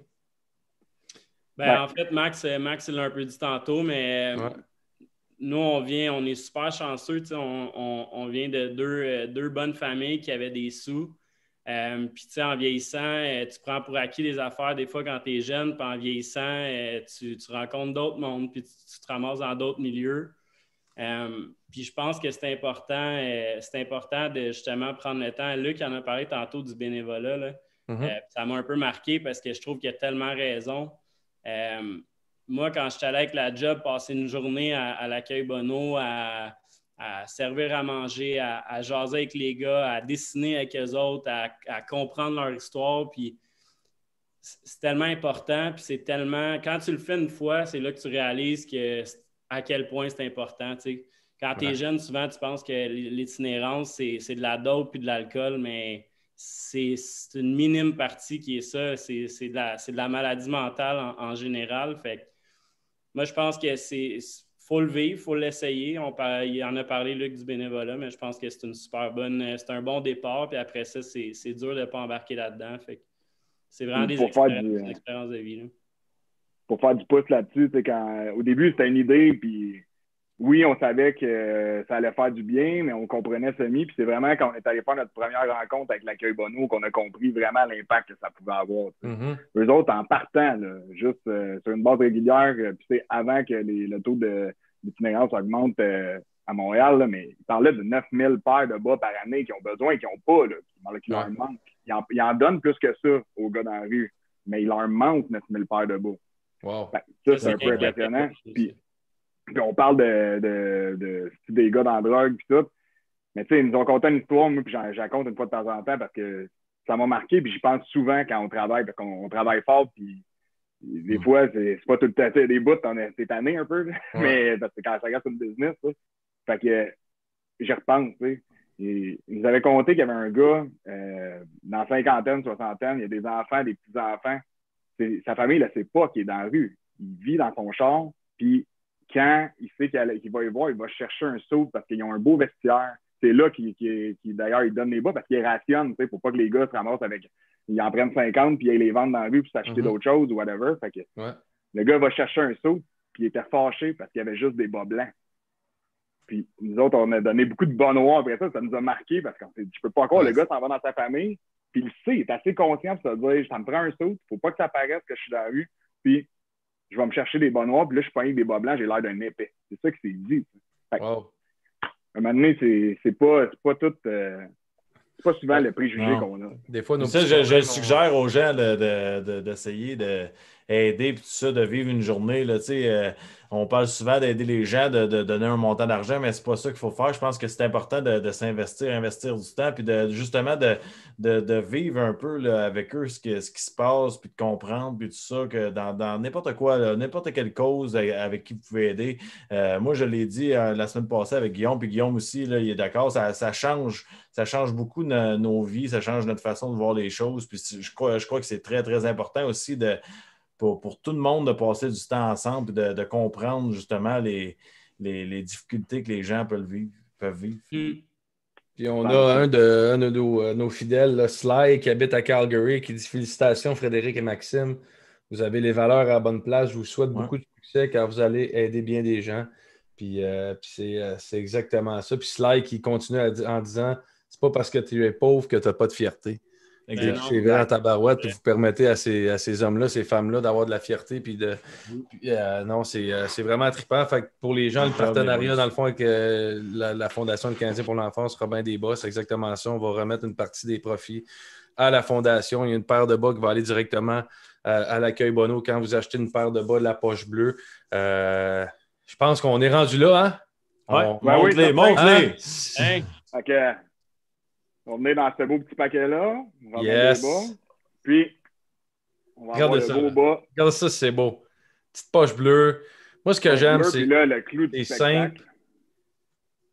Wow. Tender et lappy en dessous. Wow. Alors, c'est ça, sharp. C'est sharp. Vous Ah, êtes vraiment ça, cool, les boys, sérieux. Mon sel sonner, là, ça a déjà commencé à vendre. Je pense que vous avez vraiment des, euh, des fidèles.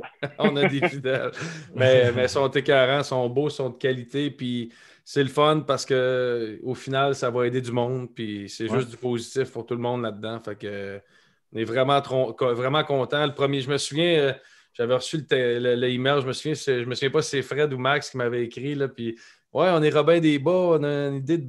Bon, là, j'étais comme, qu'est-ce que? Je comprenais pas trop. Puis là, on se retrouve aujourd'hui, 4, 5, 6 mois après, puis on a réussi un projet, puis c'est une belle fierté, puis c'est le fun. Puis on encourage Québécois, on encourage, puis en plus, ça permet de faire du bien du monde. Ben, félicitations, votre projet, les boys, puis la poche bleue. On est super content de partager ça avec vous autres. C'est vraiment Ah beau. ouais, merci beaucoup. Merci d'avoir accepté. Puis, tu sais, s'il y a un, un mot qu'on peut dire au monde, euh, Moi, je le dis souvent, mais si tu ne demandes pas, tu ne le sauras jamais. C'est Mhm. bon dans tout. Puis c'en est un bon exemple. Tu sais, nous, euh, on a starté ça, deux chums, euh, on a fait ça pour le fun, puis on, on est rendu avec des super projets comme celui-là qui nous font triper, qui redonnent, qui sont malades. Là, tu sais. moi, de- de- de- d'être ici à soir avec le background de hockey, de triper sur le hockey, moi, je capote.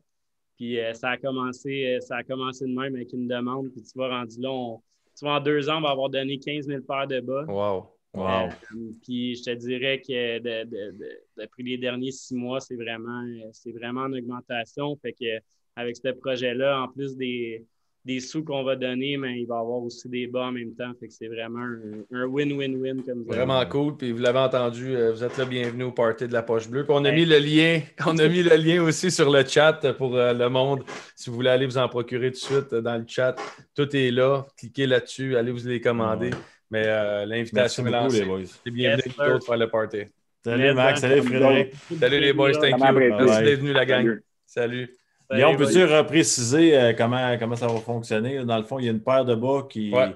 Ah, Les gens, les gens cliquent sur le lien, s'en vont sur le site, s'en vont. euh, ouais, pour le party, écrivez à info à lapochebleu.com. Excuse, je n'ai pas dit, mais si les gens veulent acheter, se procurer une paire de bas, vous cliquez sur le lien ou vous allez sur le site internet de la Poche Bleue, il y a un lien robindesbas.com, sinon produit la Poche Bleue.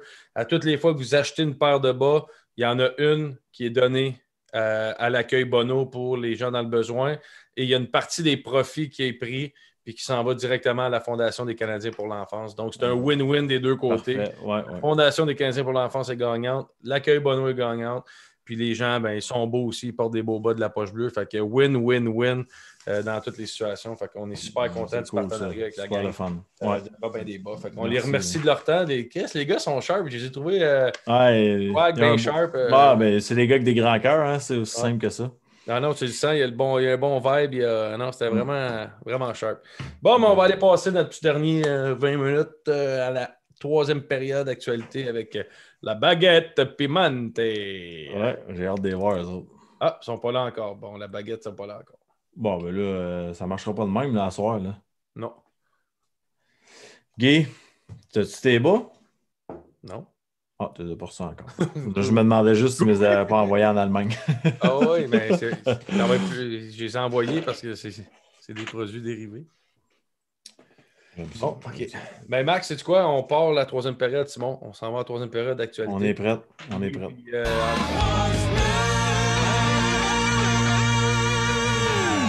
on les prend quand ils arrivent, ça sera 10 minutes, 15 minutes, 20 minutes, peu importe. Euh, Ouais. On start. Bon, ma gars, tu vois le Bon, piment. il est là, le piment. les là. gars sont il est prêts, là. Il est Les sharp à soir, là.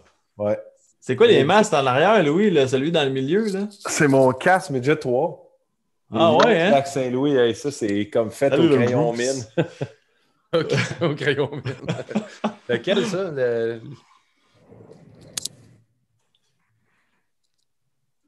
Antoine, qu'est-ce que t'as sur la chaise en arrière, là?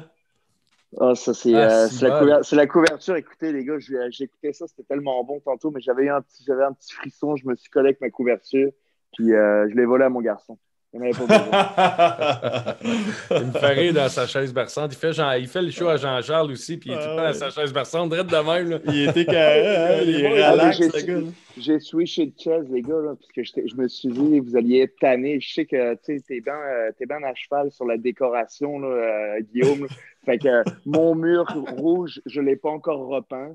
Là, ma chaise bleue qui est euh, antique, mettons, je, la switch. Fait que là, j'y vais pour la chaise berçante parce que je sais que ça va te faire plaisir. Ah Ils sont sharp, les gars. Louis aussi a changé de décor un peu. là. Il y a ses masques, les gars. J'ai euh, j'ai changé l'angle de la caméra. Changer ouais, l'angle de la caméra. Mais en plus, Max, ce que tu n'as pas remarqué, là, Chris, les gars s'appellent puis ils portent la même couleur de chandail, puis nous autres Ah non. aussi. Ah non, Ah, ça oui. roule, ça roule. là. Hey, c'est le cas de le dire, on a de l'air d'une belle gang de. Ouais, Puis- piment. les piments. les beaux piments. Hey, les boys, on start euh, directement là-dessus. Là. Euh, comment est-ce qu'on crée l'esprit d'équipe en ce moment? Tu sais, oui, on a le- à Montréal la situation du Canadien, mais que ce soit à Vancouver ou Calgary, tu sais, ça va être euh, short, petit camp d'entraînement, petite saison. S'il y a des nouveaux joueurs qui rentrent, comment est-ce qu'on fait pour s'acclimater et rentrer dans un Ben, Louis est dans la situation en ce moment à Calgary. C'est c'est- Ouais, ben, je pense qu'on que a. les les joueurs de hockey, là, en soi, on est caméléon. tu sais, On est capable de, de s'ajuster à peu près à n'importe quelle situation, surtout côté social. tu sais. Euh, moi, ayant fait plusieurs chambres de hockey, surtout dans la dernière année, de rentrer dans une place puis de se faire des amis. En tout cas, je, parle pour moi, c'est pas trop euh, difficile. La plupart du temps, on connaît déjà les gars. Euh, fait que j'ai hâte de voir, mais tu sais, les gars, on a tout un, toutes les équipes ont un, un groupe chat, euh, on est constamment en communication. Tu sais, c'est sûr qu'en ce moment, je ne connais pas les gars, je ne sais pas quel numéro qui, qui dit quoi dans, dans le groupe chat, mais tu sais, on, on va avoir le temps, tu sais, on va avoir le temps de, de- de- de- de faire tout ça. Puis je suis sûr que les équipes vont mettre tout en notre possible pour avoir un, un esprit d'équipe, que ce soit nous donner des libertés en termes de party d'équipe ou activité, de team building. Il y a plein de choses qu'on peut faire qui fait qu'on on, se met. tu sais, Au PDK, mettez-nous dans une, dans euh, une pièce de escape room, puis euh, ça, pratique la communication. Entre les, je sais pas, il y a plein de manières de faire, mais je pense pas que ça va être ça le problème numéro un avant de, de retourner. Non. Non, non, mais on parle de quand on va arriver là, puis ça, c'est pour Antoine aussi. Là, euh, euh, en ce moment, euh, il n'y aura pas grand temps quand ça va commencer. Là, si ça commence à un moment donné, là, les, les joueurs là, qui doivent se faire valoir, puis de, de trouver leurs compatriotes de trio, puis tout ça, ça va arriver vite. Là, tu peux comme pas manquer ta première chance. là. Non, c'est clair. Sans farce, Max, c'est un bon point. Tu peux pas vraiment manquer ta chance. Puis, tu sais, Louis parle de, party. Moi, je pense pas qu'il va y avoir ben ben de party. là. Si tu veux faire les séries cette année, en tout cas, tu organiseras ton équipe comme tu voudras, Louis, là, mais ça, vous allez faire. Nous autres, on va, se- on va y aller la pédale, douce là-dessus, mais Mais tu t'as pas, la, pas la tête dans le sable, Antoine. T'as JT Miller dans ton équipe. Là.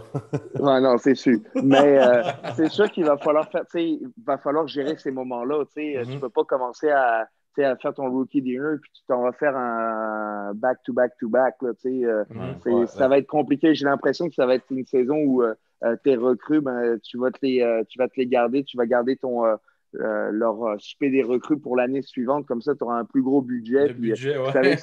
vous savez, c'est- quoi? Il faut gérer le budget. Fait que ça va être Ouais. intéressant là, si tu as au moins 3-4 recrues dans ton club. là. Une coupe de bouteille Louis XIII, c'est le fun. là. C'est tout Mais à- à quel point, justement, le début de saison va être important parce que, tu sais, on le vit un peu en Europe, là, il y a, il y a 50 Primordial. games environ. Si tu manques là, tes 5-10 premières games puis tu n'es pas prêt, tu es tout de suite euh, dans la cave puis tu as moins de chances de faire les séries. Tes 5-10 premières games dans une saison de 82 matchs, puis t'es mort. Fait que, Ouais, non, c'est ça. c'est- pas compliqué. Là. Premièrement, là, le, début d'une saison, pour moi, c'est ce, qui, ce qui donne l'identité à ton équipe. S'il n'y en, a- s'il y en a pas de Jerry, un exemple. Je me rappelle en Arizona, on avait eu, euh, on avait eu un camp d'entraînement, l'enfer. là. On avait gagné euh, tous nos matchs pratiquement. Puis euh, on est arrivé, on avait commencé l'année, on avait perdu nos 8, ou 9 premières, une affaire de même. Peut-être plus, même 10 en ligne. C'est fini, là. tu ne peux pas revenir de ça, c'est impossible. là. Tu sais, souvent, ils disent, je ne sais pas exactement c'est quoi la date, la date euh, euh, Thanksgiving. qu'il faut. euh, par Thanksgiving, si tu n'es pas en série, tu es mort. Là. Tu sais, Thanksgiving, Ouais. c'est en novembre. En novembre, Normalement, les- les équipes sont- 20 games de jouer. Généralement, tu as 20 games de jouer. Exactement. Tu sais où est-ce que tu es. Mais c'est vrai ce que tu dis. là, les, games, les premières games vont tellement être importantes. Puis c'est important. Moi, je pense que le message que moi, en tant que euh, jeune trentenaire, euh, je vais avoir dans mon équipe, c'est vraiment d'arriver prêt. Parce que généralement, tu as une bonne saison l'année euh, précédente. Nous, on a été en deuxième ronde. On a perdu là. Puis euh, je l'ai vécu avec les Stars. Puis on est arrivé au-dessus de nos affaires l'année suivante. Puis on a manqué le playoff alors qu'on avait une équipe là, euh, super solide pareil. là. Mhm. Fait que euh, c'est vraiment important de, de savoir que c'est difficile, un, de faire les playoffs, puis deux, de- d'avoir du succès dans cette ligue-là. C'est à toutes les soirs, c'est difficile, c'est exigeant.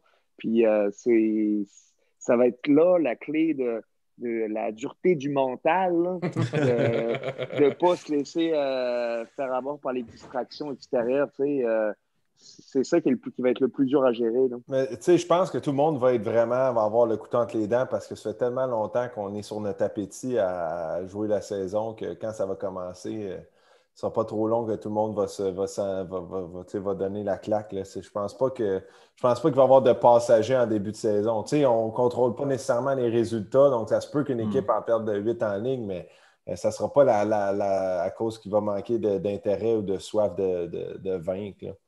On Ah, en parle souvent puis- des, du côté monétaire. On parle des joueurs, les propriétaires, l'argent, tout ça, mais à quel point c'est important pour un joueur, parce que là, ça, ça fait beaucoup de games qu'on manque là, en un an et demi, admettons. Puis si tu manques encore une saison, pour un joueur, c'est dur là, de. de tu sais, on, on a- tous été blessés. Là. Euh, quand tu reviens d'une grosse blessure, c'est dur de se remettre dedans. Euh, si tu regardes les deux dernières années, là, c'est important pour vous autres de retourner sur la glace. C'est surtout dur pour, parce que les autres continuent, mais si tout le monde est au même piédestal, au moins il y a ça. tu sais. Au Ouais. moins il y a ça. Il y a quand même Moi, le je pense- fait que ça va être tough de rentrer dans l'action. On l'a fait quand même. euh, C'est plus Ouais, les équipes qui n'ont pas fait les séries qui vont, eh, qui vont avoir de la misère. C'est clair. Parce que moi, Louis, je te dis, si je perds mes mains, j'ai six mois de congé, puis j'essaie de les rattraper, je suis dans la merde. On va te le dire tout de suite. Non, puis c'est vrai, mais tu sais, tu as raison ce que tu dis, euh, Max. C'est important, puis c'est d'embarquer euh, sur la glace le plus longtemps euh, qu'on peut, puis le plus rapidement. tu sais.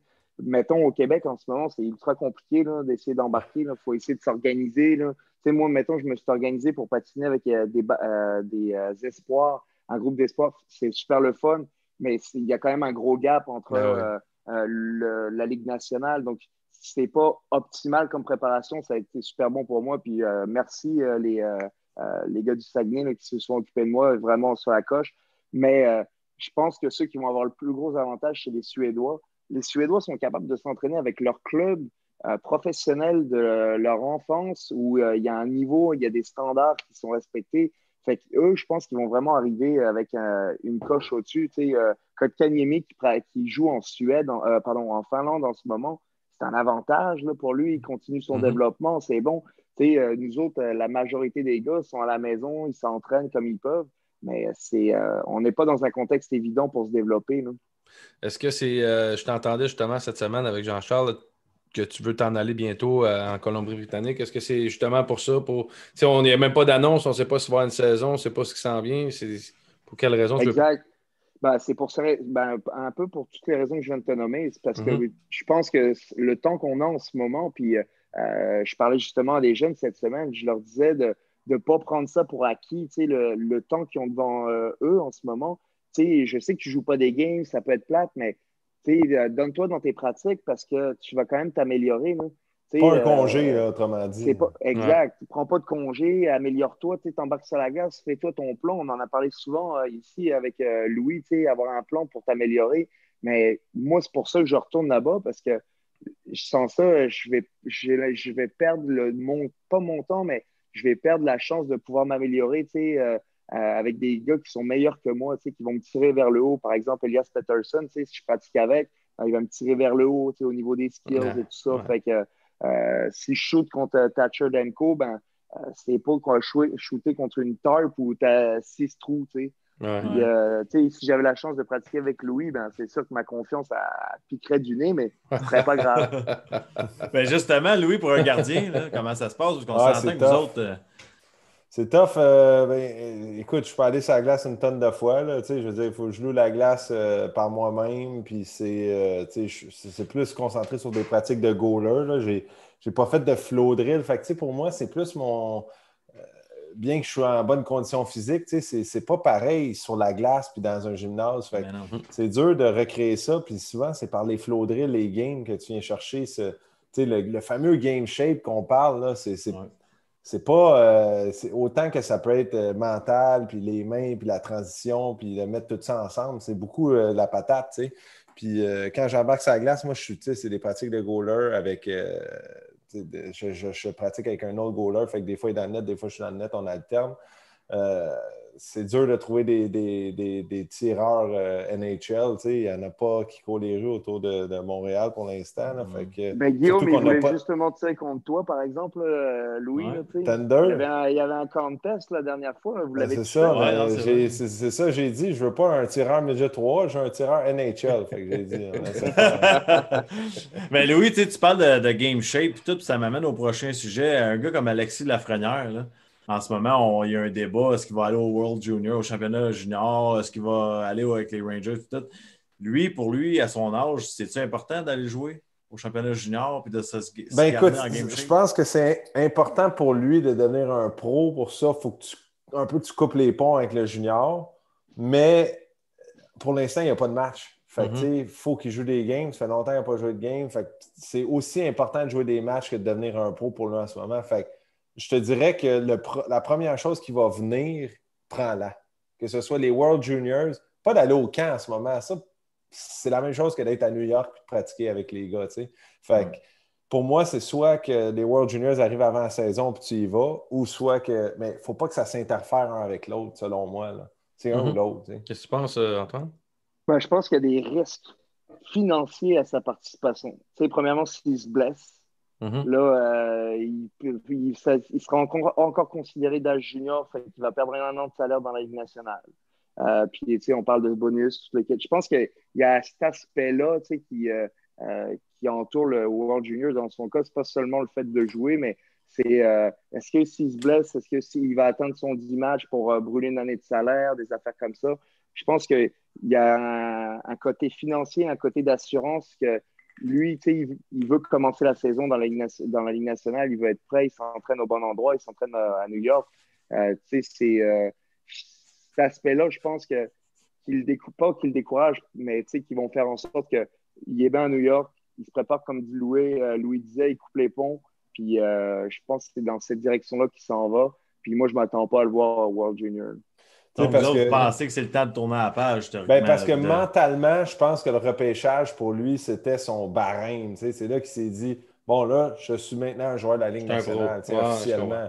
De retourner junior, ça peut peut-être être mentalement euh, Faire mal intéressant, peut-être. Tu sais, les gars, il n'y a plus rien à prouver dans le junior. là. Tu sais, euh, il a dominé l'année passée euh, outrageusement. Il a l'idée cette équipe-là. Ils ont gagné tout. Ça fait trois ans, là. On n'oublie pas qu'il est late. Ou Ouais, pas late, ou qu'il a joué à 15, je sais pas trop. J'avais, j'avais l'autre opinion, euh, honnêtement. Moi, je pensais que c'était bon pour lui d'y aller. Puis tu vois, euh, quand j'écoute Mais je pense, je suis d'accord. pense, Ah, c'est ça, tu as raison, Lou- euh, Guillaume, tu sais, c'est vraiment, sais, moi aussi, je pense que, jouer, c'est toujours mieux, là, mais je- je- moi, je pense, les, je, t'explique- je pense les raisons qui sont derrière sa, sa non-participation, ça serait ça.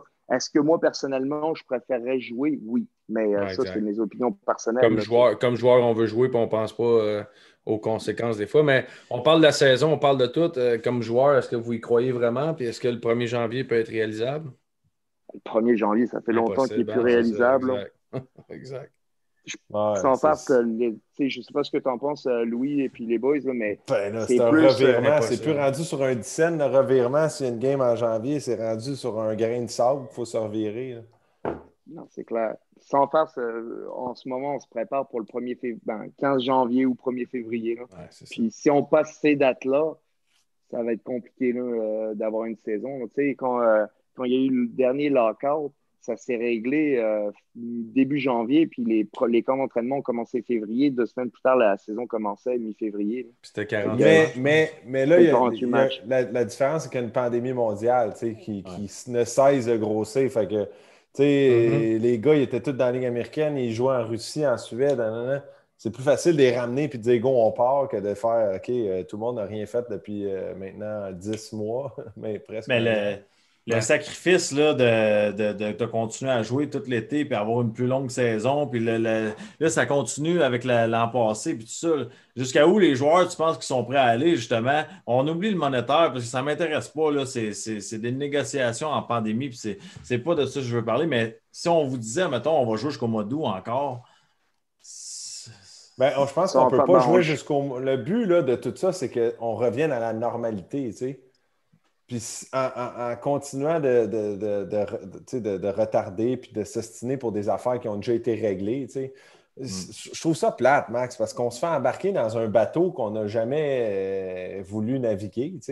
Nous, on a réglé notre affaire. Pour revenir au jeu, il faut que les gens comprennent que pour revenir au jeu euh, cet été, là, on a dû s'entendre sur une nouvelle convention collective. Puis on s'est entendu. Puis c'est pour s'entendre, ça prend deux parties. Puis les deux parties ont signé pour comme quoi que c'était une entente. À ce moment-là, il faut que tu, tu tiennes, tu tiennes ton bout. Là, tu- sais, personne ne voudrait re- renégocier de quoi qui vient juste d'être négocié. Ça ne marche pas de même dans la vie de toute façon. tu sais. C'est pas qu'on ne veut pas jouer, mais même si la situation euh, pandémique fait en sorte que Chris, euh, au pire, on met sur hold d'un an puis on reviendra l'année prochaine avec ce qu'on avait signé, dans le sens que c'était tellement gros ce qui se passe en ce moment. Ben non, parce qu'il y a. la- tous les autres hey, sports jouent, C'est Ouais. toutes des, c'est toutes des, euh, des, des- des propriétaires qui ont des business de multimillions de dollars, billions de dollars, milliards de dollars. Hey, ils sont pas capables de comprendre que s'il y a de quoi qui s'en vient. De toute façon, là, euh, c'était très clair dans tout ça que on n'allait pas jouer à pleine capacité toute la saison. là. De- du début à la fin, là, c'était- c'était- ça disait être très fortement possible qu'on joue sans fans jusqu'à au moins la moitié de la saison, puis que graduellement, on, on, on inclut des fans. Fait que c'est des. des tu sais, ils sont assez brillants pour avoir pris leurs précautions puis avoir fait leurs calculs. Du moins, c'est ça qu'on a fait en tant qu'association. C'est de là qu'on en est rendu à un deal. tu sais. On s'est préparé, on avait du monde assez, assez Mhm. qualifié pour nous instruire sur le sujet. tu sais, Qui nous... Avez-vous. Ouais, moi, c'est c'est là, c'est là, moi aussi, Guillaume, euh, que, que j'ai un peu un problème. C'est que je comprends parfaitement la, la- la- la pandémie. Puis, euh, tu sais, les joueurs de hockey, on est gâtés. là. On est chanceux d'a- d'avoir la chance. Non, euh, je- fais juste l'avocat du diable, là. Non, mais c'est ça. Mais moi, je veux juste parler du côté sportif, là, le hockey, puis tout ça. Quand, que- quand il y a eu l'offre des propriétaires, c'est comme, dit, comme dit Louis, là, il savait un peu dans quoi que ça Ah. Je pense qu'il savait qu'il à avoir aucun fan, aucun partisan Mhm. au début, en début de saison, peut-être même toute l'année.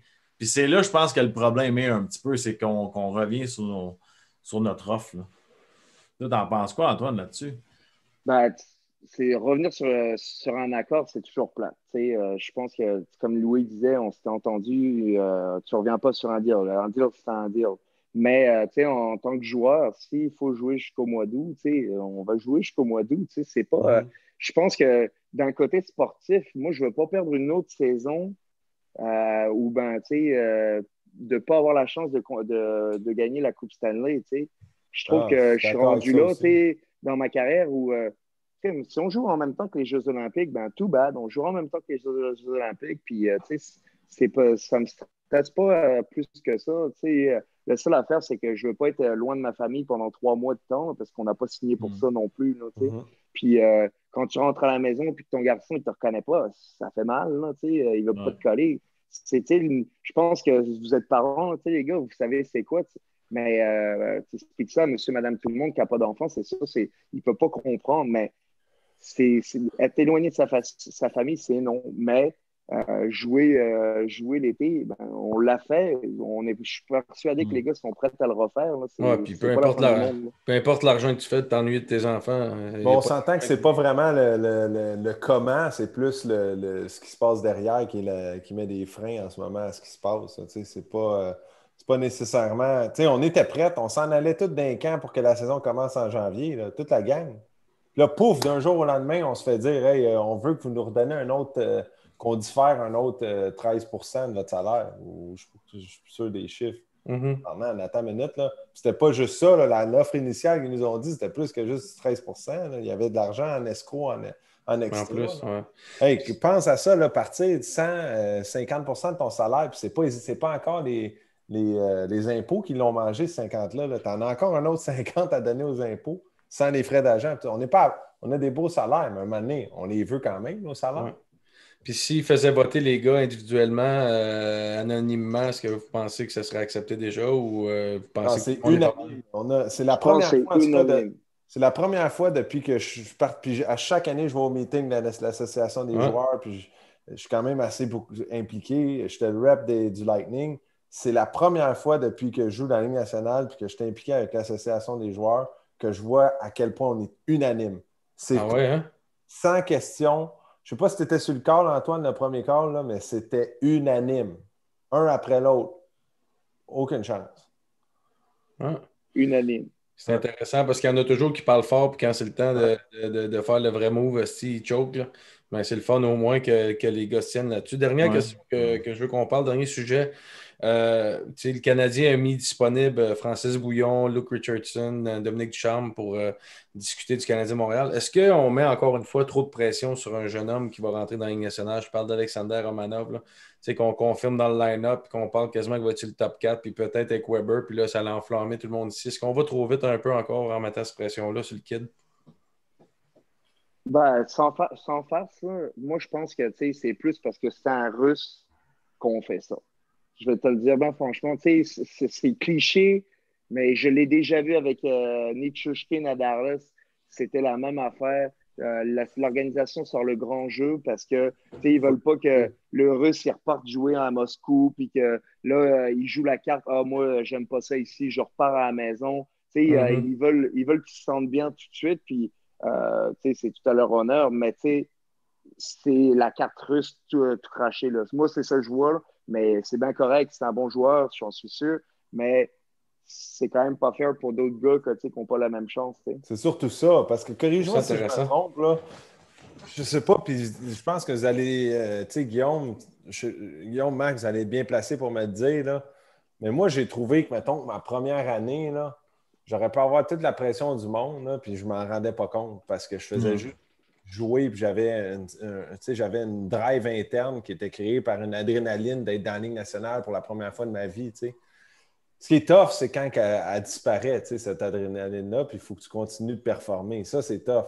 Mais je pense que la pression à ce moment-là, il va, il va avoir tellement. Ce jeune-là va avoir seté un standard pour lui-même. Au sein de la Ligue, il va avoir dit Gars, moi, je peux jouer de telle et telle façon. Voici le standard que je suis capable d'amener. Mais là, la pression va venir à l'interne du fait qu'il faut tout le temps que tu me rendes ce standard-là. tu sais.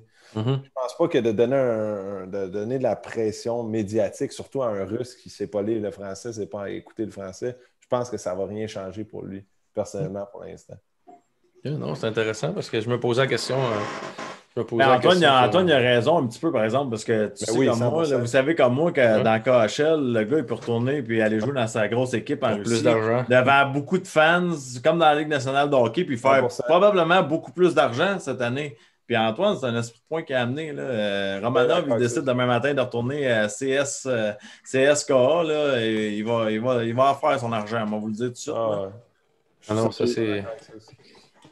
C'est vraiment. C'est vrai, puis c'est un point que j'ai pas pensé. C'est vraiment bon. Les, les Canucks, on avait un joueur comme ça, euh, Oh! Pierre Tiriakin ou quelque chose de même. Là, puis, euh, Triamkin, Nikita Tri- Triamkin.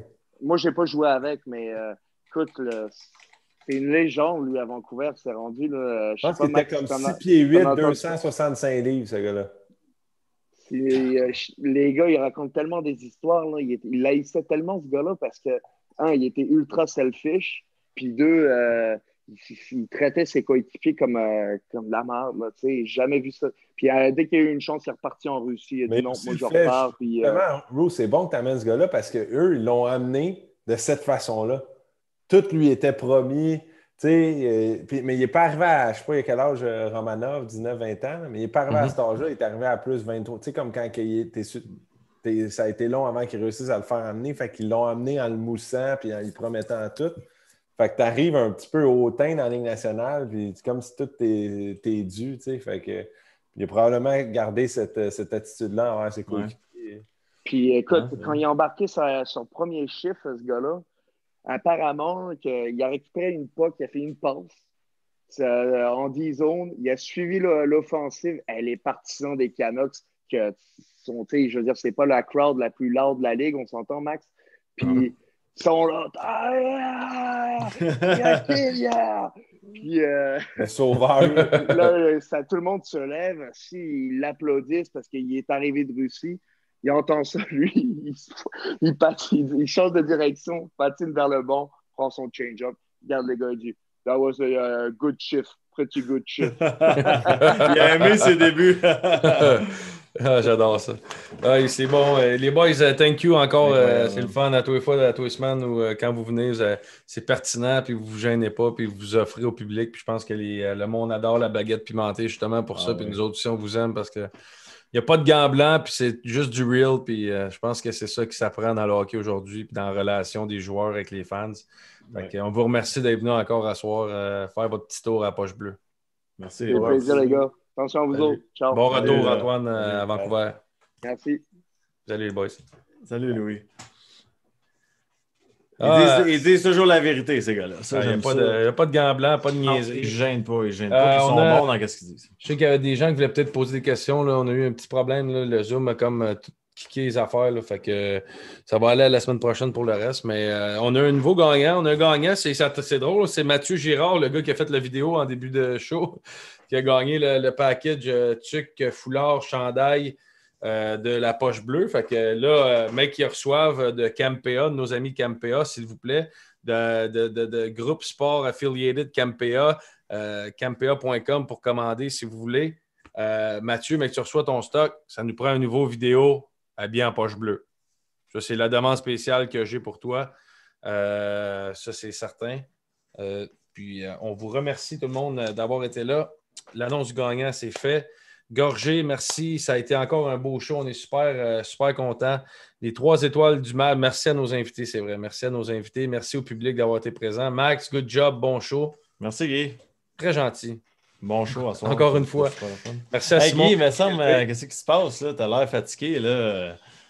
Y a-t-il quelque chose demain? Ou... Ah, juste un cadran à 3h30.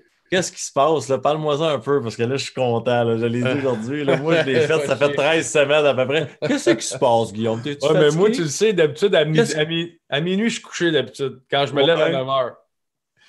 Là, je me lève à 3h30 pour faire un show à C'est quoi le matin? Ah, c'est ça l'affaire. Demain, là, toi, tu m'en dois une sur 13, puis il faut que tu te lèves de bonne heure. Hey, Ça, on va s'en reprendre c'est cet été. Hey, c'est plat, c'est plat. Prends mes énergies pour les parties de la poche bleue. Je sens qu'on va se ouais, ça va être un gros party.